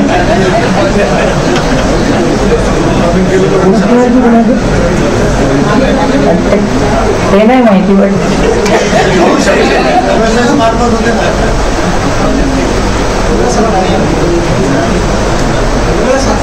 शिक्षकांनी या वापरावं वापरा म्हणा वापरा काय आपलं प्रकल्प चालू आहे. बाजूने आहात का नाही. आहे म्हणजे आहेच. मी काय सांगतोय आपण आता ओव्हर अ पिरियड उद्या अजून काहीतरी नवीन येईल. तुम्हाला ते अडॅप्टच करणं आहे पूर्वी लोक सायकलवर फिरायचे मग मोटरसायकल आली तर मोटरसायकल वापरली लोकांनी. कदाचित नवीन आल्या आल्या लोकांना ते थोडं अनकम्फर्टेबल वाटलं असेल किंवा रिस्की वाटलं असेल की मोटरसायकल तर सायकलपेक्षा खूप फास्ट जाते मग आपला ऍक्सिडेंट होऊ शकतो किंवा काही काही होऊ शकतं. पण लोकांनी ते अडॅप्ट केलं त्यात मूळ झाले. आपणही ते होईल आणि लकीली हे काही फार अवघड नाही. तुम्हाला फक्त असं समजून घ्या की आर्टिफिशियल इंटेलिजन्स एक आपल्यासमोर बसलेले व्यक्तीच आहेत त्याला त्याच्याशी संवाद साधायचा आहे. दुसरा दुसरा विषय ए आय आणि शालेय शिक्षण. सध्या आपण जे खूप दाखवले की विद्यार्थी पन्नास शब्दामध्ये पॅरेग्राफ तयार करतील. विद्यार्थी नाही.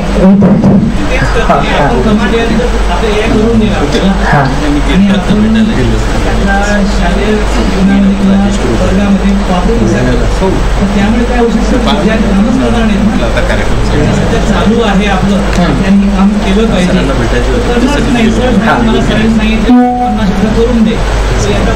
मग मग मी ते डिस्ट्रीब्युशनच तसं केलं होतं मुद्दाम त्यामध्ये की मुलांनी काय शिकावं? मुलांनी टूल्सला हात नाही लावला पाहिजे. पण आता तुम्ही जर त्यांना म्हणणार तुम्ही त्याला हात न लावू तर ते त्याला लावणार तुम्ही त्याला असं सांगा त्याच त्याला क्षुल्लक ठरवा. तुम्ही तुमच्या डेली रुटीन मध्ये ते यूज करा ना. पण मुलांना एक आता इथे कोण मुलं आलेलेच नसणार दिसत नाही नाहीये. सो ह्याच्यामध्ये मुलांना तुम्ही ते असं दाखवा की हे काही क्षुल्लक गोष्ट आहे. ज्या वेळेला तुम्ही त्याला असं ते पानचं काय असं दाखवाल ना त्यावेळेस ते त्याला निग्लेक्ट करतील. तुम्ही जर म्हणणार ते नको वापरू तर ते वापरणार. सो सगळ्यात पहिले हेच मी हे सांगितलं की डिस्ट्रीब्युशन काय शिकायचं कोणी? ए आय म्हटलं तर आज सगळ्या गोष्टी आहे तुमच्याकडे. आज टूल्स पण आहे तुमच्याकडे हे डेटा पण आहे आपलं. म्हणजे डेटा सायन्स आणि हे सगळंही शिकू शकतो. तर ते डिस्ट्रीब्युशन असणं गरजेचं. हा सर आपण जो चॅट जीपीटी पाहतो त्यामध्ये आपण त्याला क्रमांक दिलं प्रश्न उत्तर तो देतो तेवढा साधा तो स्टोरेज कुठे असते सेंट्रलाइज सर्व्हर असतात ओपन ए आय म्हणून एक कम्युनिटी आहे. ही सुरुवातीला नॉन फॉर प्रॉफिट होती आय थिंक सो हा.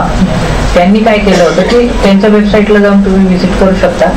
तिथं बघू शकता की ते त्यांचा मेन एम हाच होता. दोन हजार पंधरा पासून आहे ही. की रिसर्च अँड डेव्हलपमेंट करायचे ए आयमध्ये.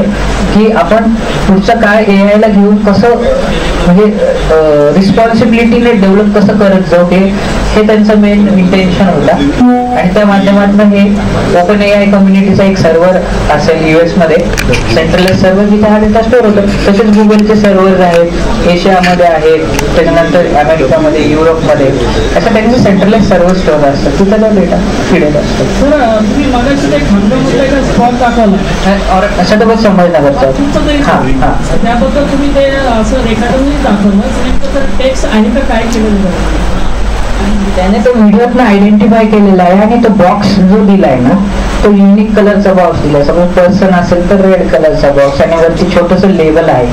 तो व्हिडिओ तुम्ही झूम इन करून पाहिला तर तो. आता याच्यातून काय होतं? मी ते त्यावेळेला काय केलेलं की ते आयडेंटिफाय केल्यानंतर ते रिअल टाइममध्ये एक्सेल मध्ये स्टोर व्हायला पाहिजे.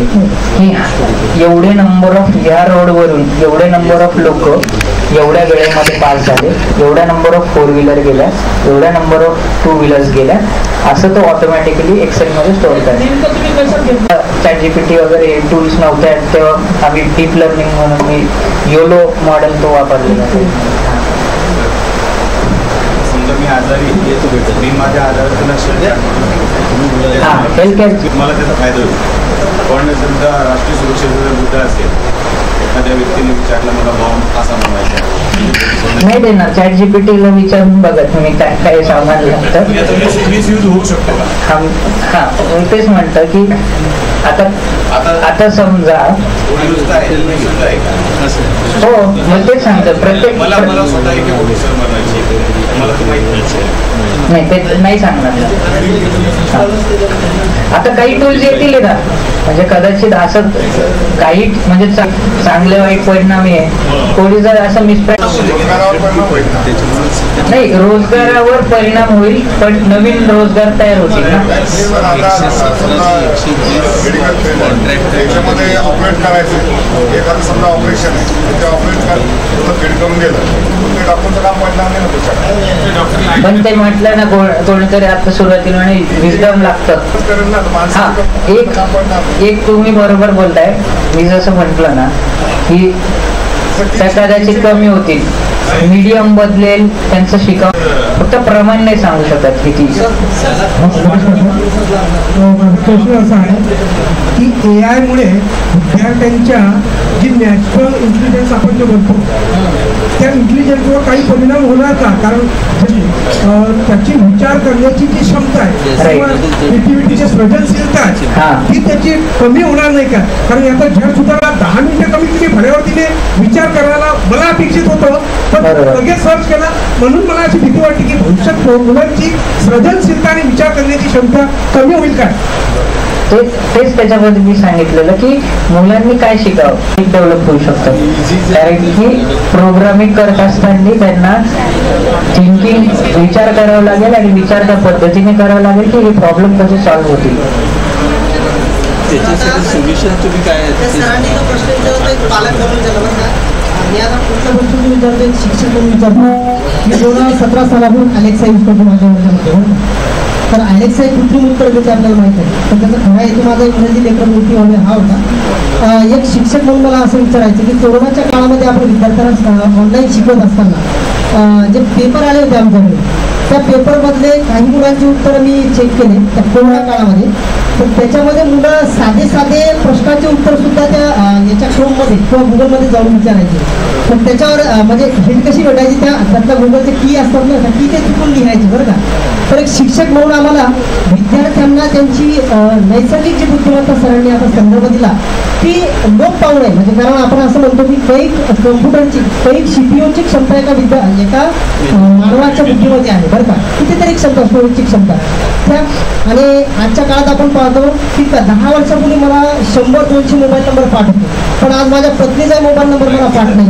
माझ्या पतीचा त्या स्त्रीला तिच्या पतीचा नंबर माहीत नाही किंवा घरातल्या फॅमिलीचा नंबर माहिती नाही. हे कुठली बुद्धिमत्तेमुळं आपली नैसर्गिक जी बुद्धिमत्ता लोप पावणे कमी होऊ नये याच्यासाठी शिक्षक म्हणून मला काय आवड घातली पाहिजे किंवा काय काळजी घेतली पाहिजे? तर त्याच्यामध्ये जे आता हे तर नॅचरलच आहे. समजा ही जी बुद्धिमत्ता ही तुम्हाला आता हे तुम्ही टेक्नॉलॉजीला डिनाय नाही करू शकत. पण अतिरेक जर झाला तर ते ऑटोमॅटिकली तुमचं हेच होणार आता मी जरी म्हणतो की बाबा प्रोग्रामिंग वापरतो ते दिवसभर काय प्रोग्रामिंगच थोडी करणार आहे. ना काहीतरी फन एंटरटेनमेंट आणि या सगळ्या गोष्टी. मग तो तर हा हा या टॉपिकच्या बाहेरचाच क्वेश्चन आहे की तुम्ही मेडिटेशन करून घ्या.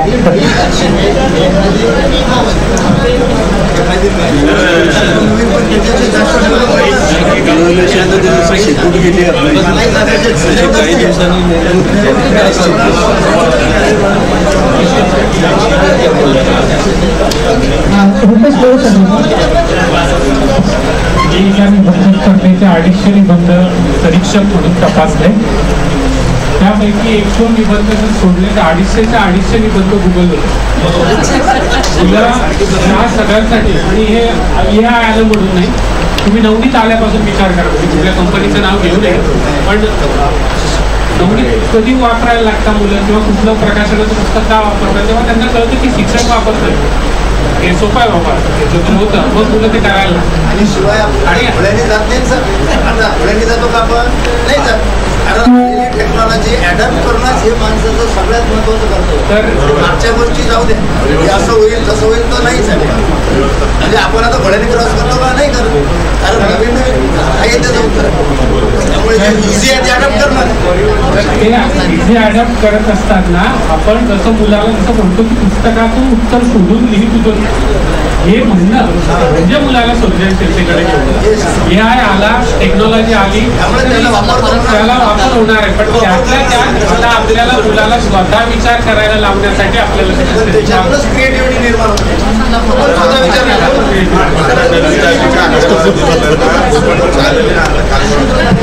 मला मला पर्सनल अशी भीती वाटते या ठिकाणी. असं सगळ्यांना मला मला वाटलं असं आता बोलताना सगळ्यांचं की यातून असं नव्हतं की पाच दहा वर्षात याच्या नावाखाली आपले जे इमोशन्स आहेत ते विजडम आपल्या पर्सनल आहेत. नॅचरल जे आपल्यात आहे. इमोशन नाही आहेत भावभावात इमोशन नाही आहेत नवरा बायकोत इमोशन नाही आहेत. एखादं आहे पण बायकोत या गोष्टी परिणाम भयानक असतात मेकॅनिकल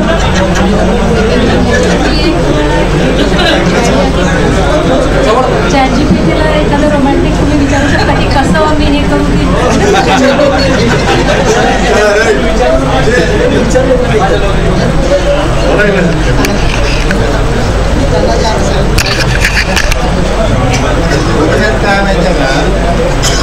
आता जे म्हणजे आता उदाहरणार्थ आधी आपल्या पूर्ण अंगावर केस होते माहिती आहे ना सगळ्यांना? मग ते सगळं जसं जसं युग बदलत जाईल तसे तसे चेंजेस ऍक्सेप्टच करावं लागणार. कारण आता म्हणजे इन केस मागचा काळ आणि पुढचा काळ याच्यानंतरचा काळ याच्याही पेक्षा भयंकर असणार. कारण भविष्यामध्ये येणारे जे आय आयच्या मार्फत येणारे ज्या ज्या काही प्रोसेस आहेत त्या अतिशय आपल्या मानवी जीवनासाठी घातकच असणार आहे उदाहरणार्थ प्रोफेसर्स माहिती असेल तुम्हाला की एखाद्याने जर ठरवलं तर तुमचा सगळा डाटा सेकंदात किंवा घेऊ शकतो सेकंदातच काही त्याला काही कोणाची परवानगी लागत नाही परमिशन लागत नाही फक्त मोबाईल नंबर टाकला त्याला काम करत हे आता येणारी जी तंत्रज्ञान आहे ह्या तंत्रज्ञानाला आपण कसं फेस झालं पाहिजे सगळ्यात महत्त्वाचं. आणि ह्या गोष्टी ज्या आहेत आपण म्हणतोय की साधारणतः अ, वगैरे. कारण हा जो भाग आहे समोरचा येणारा मनुष्याचं काय सगळ्यात इझी जे आहे ते जे मिळेल तो त्याचा प्रयत्न करतो. आणि यातूनच डेव्हलप झालेला आहे. धन्यवाद. कोणाचे प्रश्न असतील तर आपण थोडक्यात आणि रिपिटेशन होणार नाही सरांना लांब जायचे आहे वस्तुनिष्ठ आणि थोडक्यात नवीन विषय असेल तर कृपया विचारा.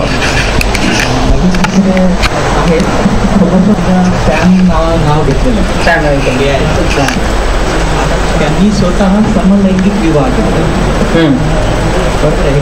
माहिती आहे की? त्यांच्यावरून आपण. आवाज येतो?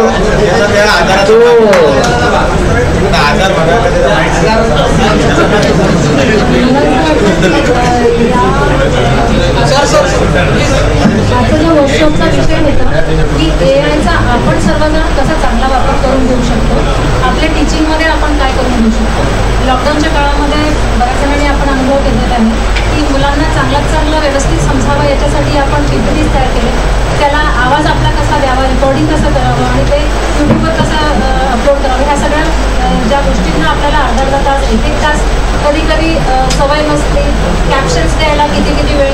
ह्या सगळ्या गोष्टी आपण यांच्या ह्या चॅटजीपीटी एक एक्झाम्पल जसं सरांनी सांगितलं की प्रॉम्प्ट टाकायचं. जर तुम्ही सांगितलं त्याला की महाराष्ट्रांचे किल्ले तर it will give within seconds चॅटजीपीटीवर ते फक्त तुम्हाला आउटलाईन देईल आउटलाईन म्हटलं तर आउटलाईन डिटेल पॉईंट्स तर डिटेल पॉईंट्स तुम्हाला पीपीटीला सरळ कॉपी करून द्या पॉवर पॉईंटवर टाका आणि तुमची प्रेझेंटेशन तयार आणखीन जसं सरांनी सांगितलं की चॅट जीपीटी आहे. बाकी ए आयचे आणखीन असे टूल्स आहेत जे तुम्हाला डिरेक्टली पीपीटी सुद्धा तयार होती एन ई पीचा वर्कशॉप मला घ्यायचा आहे. एन ई पीचे उच्च शिक्षणातील एन ई पी असं जर तुम्ही टाकलं रिवाईज करून द्या त्याला प्रायमरी शिक्षणातली एन ई पीचे म्हणतो तो एका सेकंड पण लागणार आणि त्याला तुम्हाला पॉवर पॉईंट तयार होईल त्याच्यामध्ये तुम्ही एडिट करू शकता. आता आपलं जे म्हणणं आहे आपला डेटा वगैरे आपण कोणताही ॲप घेतो काही घेतो तेव्हा एक चेकबॉक्स असतो. आपण ॲक्सेप्ट म्हणतो.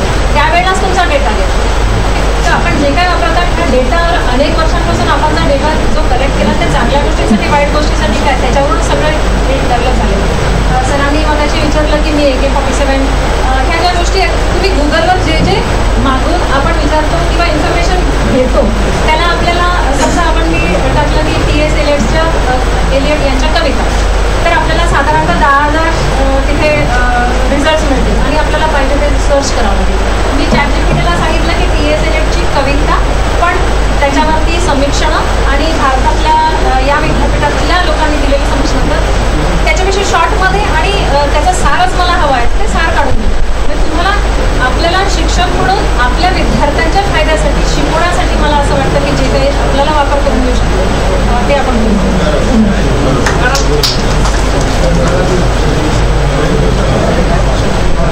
काही प्रश्न आहे अजून? सर प्लीज आपण बसून घ्या एकदा. टाळ्यांचा गजर ऋषिकेश सरांसाठी. अं, अतिशय अभ्यासपूर्ण आणि तेवढाच तन्मयतेनं आपल्यासोबत एका नवीन विषयावरती ऋषिकेश डोंगगावकर साहेबांनी सरांनी या ठिकाणी सादरीकरण केलं. मी समारोपाच्या कार्यक्रमात आहो आपण. समारोपाकडे अगदी तीन ते चार मिनिटाचा हा समारोप आहे. आणि मी ज्यांना निमंत्रित करतो त्यांनी कृपया या स्टेजवरती येऊन स्थानापन मिळावं बुलढाण्यावरून या ठिकाणी आलेले डॉक्टर गजानन उगरांडे सर त्यांना विनंती करतो त्यांनी कृपया राजेश्वर उमरांडे सरांना विनंती आहे कृपया त्यांनी विचारपीठावर येऊन मिळावं व्हावं. केंद्रप्रमुख डॉक्टर उर्मिला जाधव मॅडम केंद्रप्रमुख सन्माननीय पवार साहेब केंद्रप्रमुख नारखेडे साहेब प्रशासन अधिकारी आमचे मित्र श्री देवपटे सर यांना विनंती आहे आणि जिल्हा परिषद हायस्कूल बॉईजचे मुख्याध्यापक आमचे मित्र गजेंद्र इंगळे सर. प्लीज आपण समारोपाकडे आहोत. या सगळ्या मंडळींनी हो आदरणीय डॉक्टर जाधव मॅडम या. आणि आपण सर्वजण गेल्या दोन तासांपासून या ठिकाणी या कार्यक्रमामध्ये सहभागी आहोत. प्लीज मॅडम या.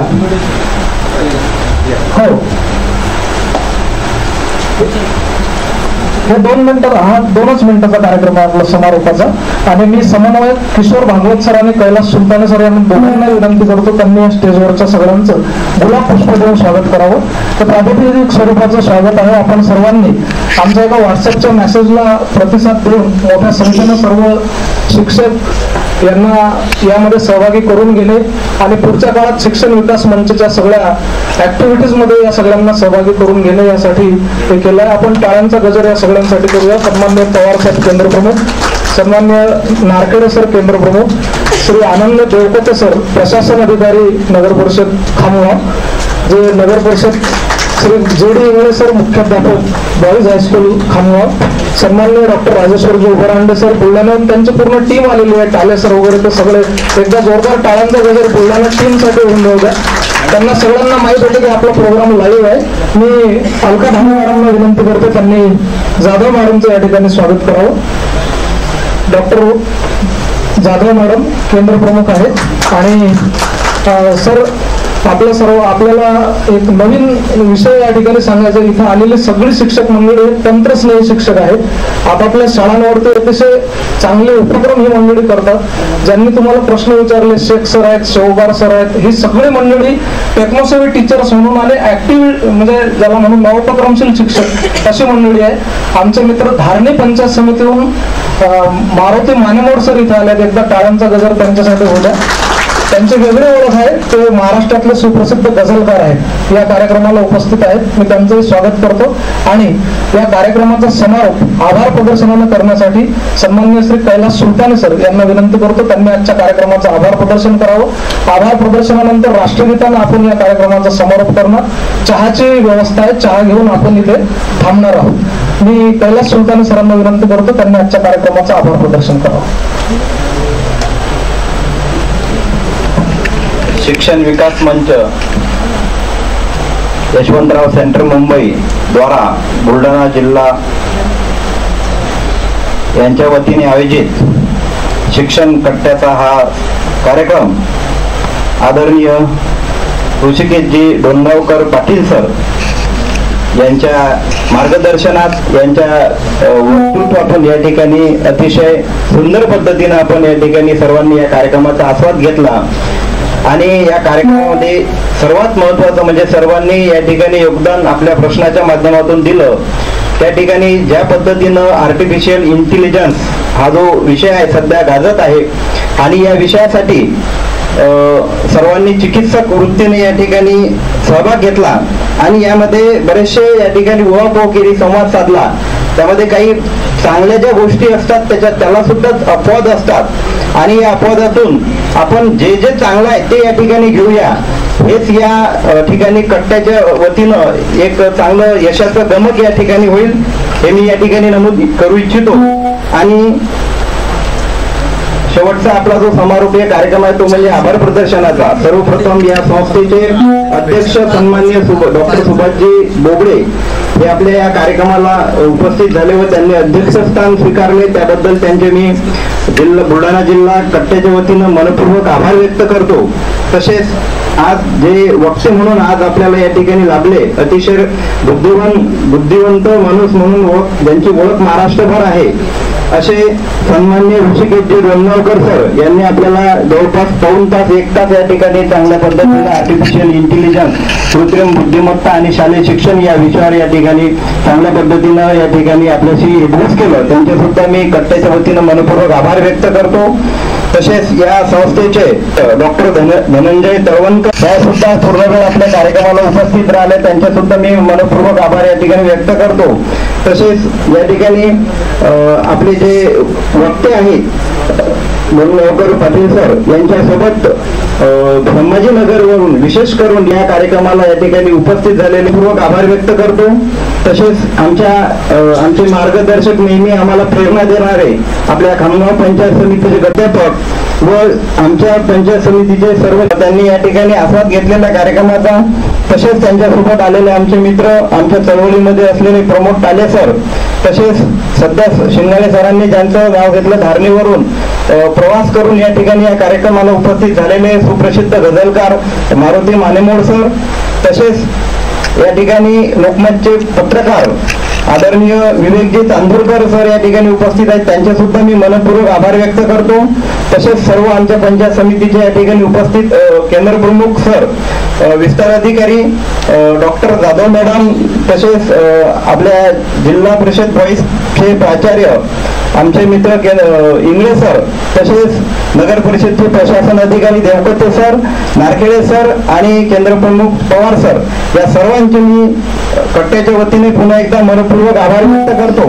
आणि या ठिकाणी विशेष करून जे आपल्या मुलांना काहीतरी घेऊन जाण्यासाठी या ठिकाणी नवनवीन ज्ञान घेण्यासाठी उपस्थित असलेले सर्व उपक्रमशील शिक्षक या ठिकाणी उपस्थित झालेले आहेत त्यांचे सुद्धा मी मनपूर्वक आभार व्यक्त करतो. आणि विशेष करून उपक्रमशील शिक्षका शिक्षकाबरोबर काही जागरूक पालक या ठिकाणी मुलांच्या म्हणजे भविष्यासाठी या ठिकाणी विशेष करून ज्ञान घेण्यासाठी उपस्थित झालेले आहेत. त्यांचे सुद्धा मी या ठिकाणी मनपूर्वक आभार व्यक्त करतो. आणि काही विद्यार्थी सुद्धा या ठिकाणी उपस्थित झाले होते. त्यांचे सुद्धा मी मनपूर्वक आभार व्यक्त करतो. आणि विशेष करून हा कार्यक्रम यशस्वीरित्या पार पाडण्यासाठी ज्यांनी या ठिकाणी लाईव्ह हा कार्यक्रम महाराष्ट्रभर या ठिकाणी एक्सप्रेस केला त्यांचे सुद्धा मी मनपूर्वक आभार व्यक्त करतो. आपल्या कॉलेजचे सर्व जे कर्मचारी वृंद असतील सर्व या ठिकाणी आम्हाला सहकार्य करणारे यांचे सुद्धा मी या ठिकाणी मनपूर्वक आभार व्यक्त करतो. आणि आजचा हा कार्यक्रम अध्यक्षीय यांच्या परवानगीने संपला असं या ठिकाणी मी जाहीर करतो. आणि तत्पूर्वी सर्वांनी एकदा उभं राहायचं आहे राष्ट्रगीतासाठी. राष्ट्रगीताच्या अगोदर एक छोटस स्वागत मला घ्यायचं आहे. आपल्या कार्यक्रमाचं लाईव्ह स्ट्रीमिंग आणि सगळं तो देणारे सचिन सर यांचं स्वागत गुलाब पुष्प देऊन जनगणमन अधिनायक जय हे भारत भाग्य विधाता। पञ्जाब सिन्धु गुजरात मराठा द्राविड उत्कडवङ्गा विन्द्य हिमाचल यमुना गङ्गा उच्चल जलधितरङ्गा तव शुभ नामे जागे तव शुभ आशिष मागे। गाहे तव जय गाथा। जनगण मंगलदायक जय हे भारत भाग्य जय हे जय हे जय हे जय जय हे.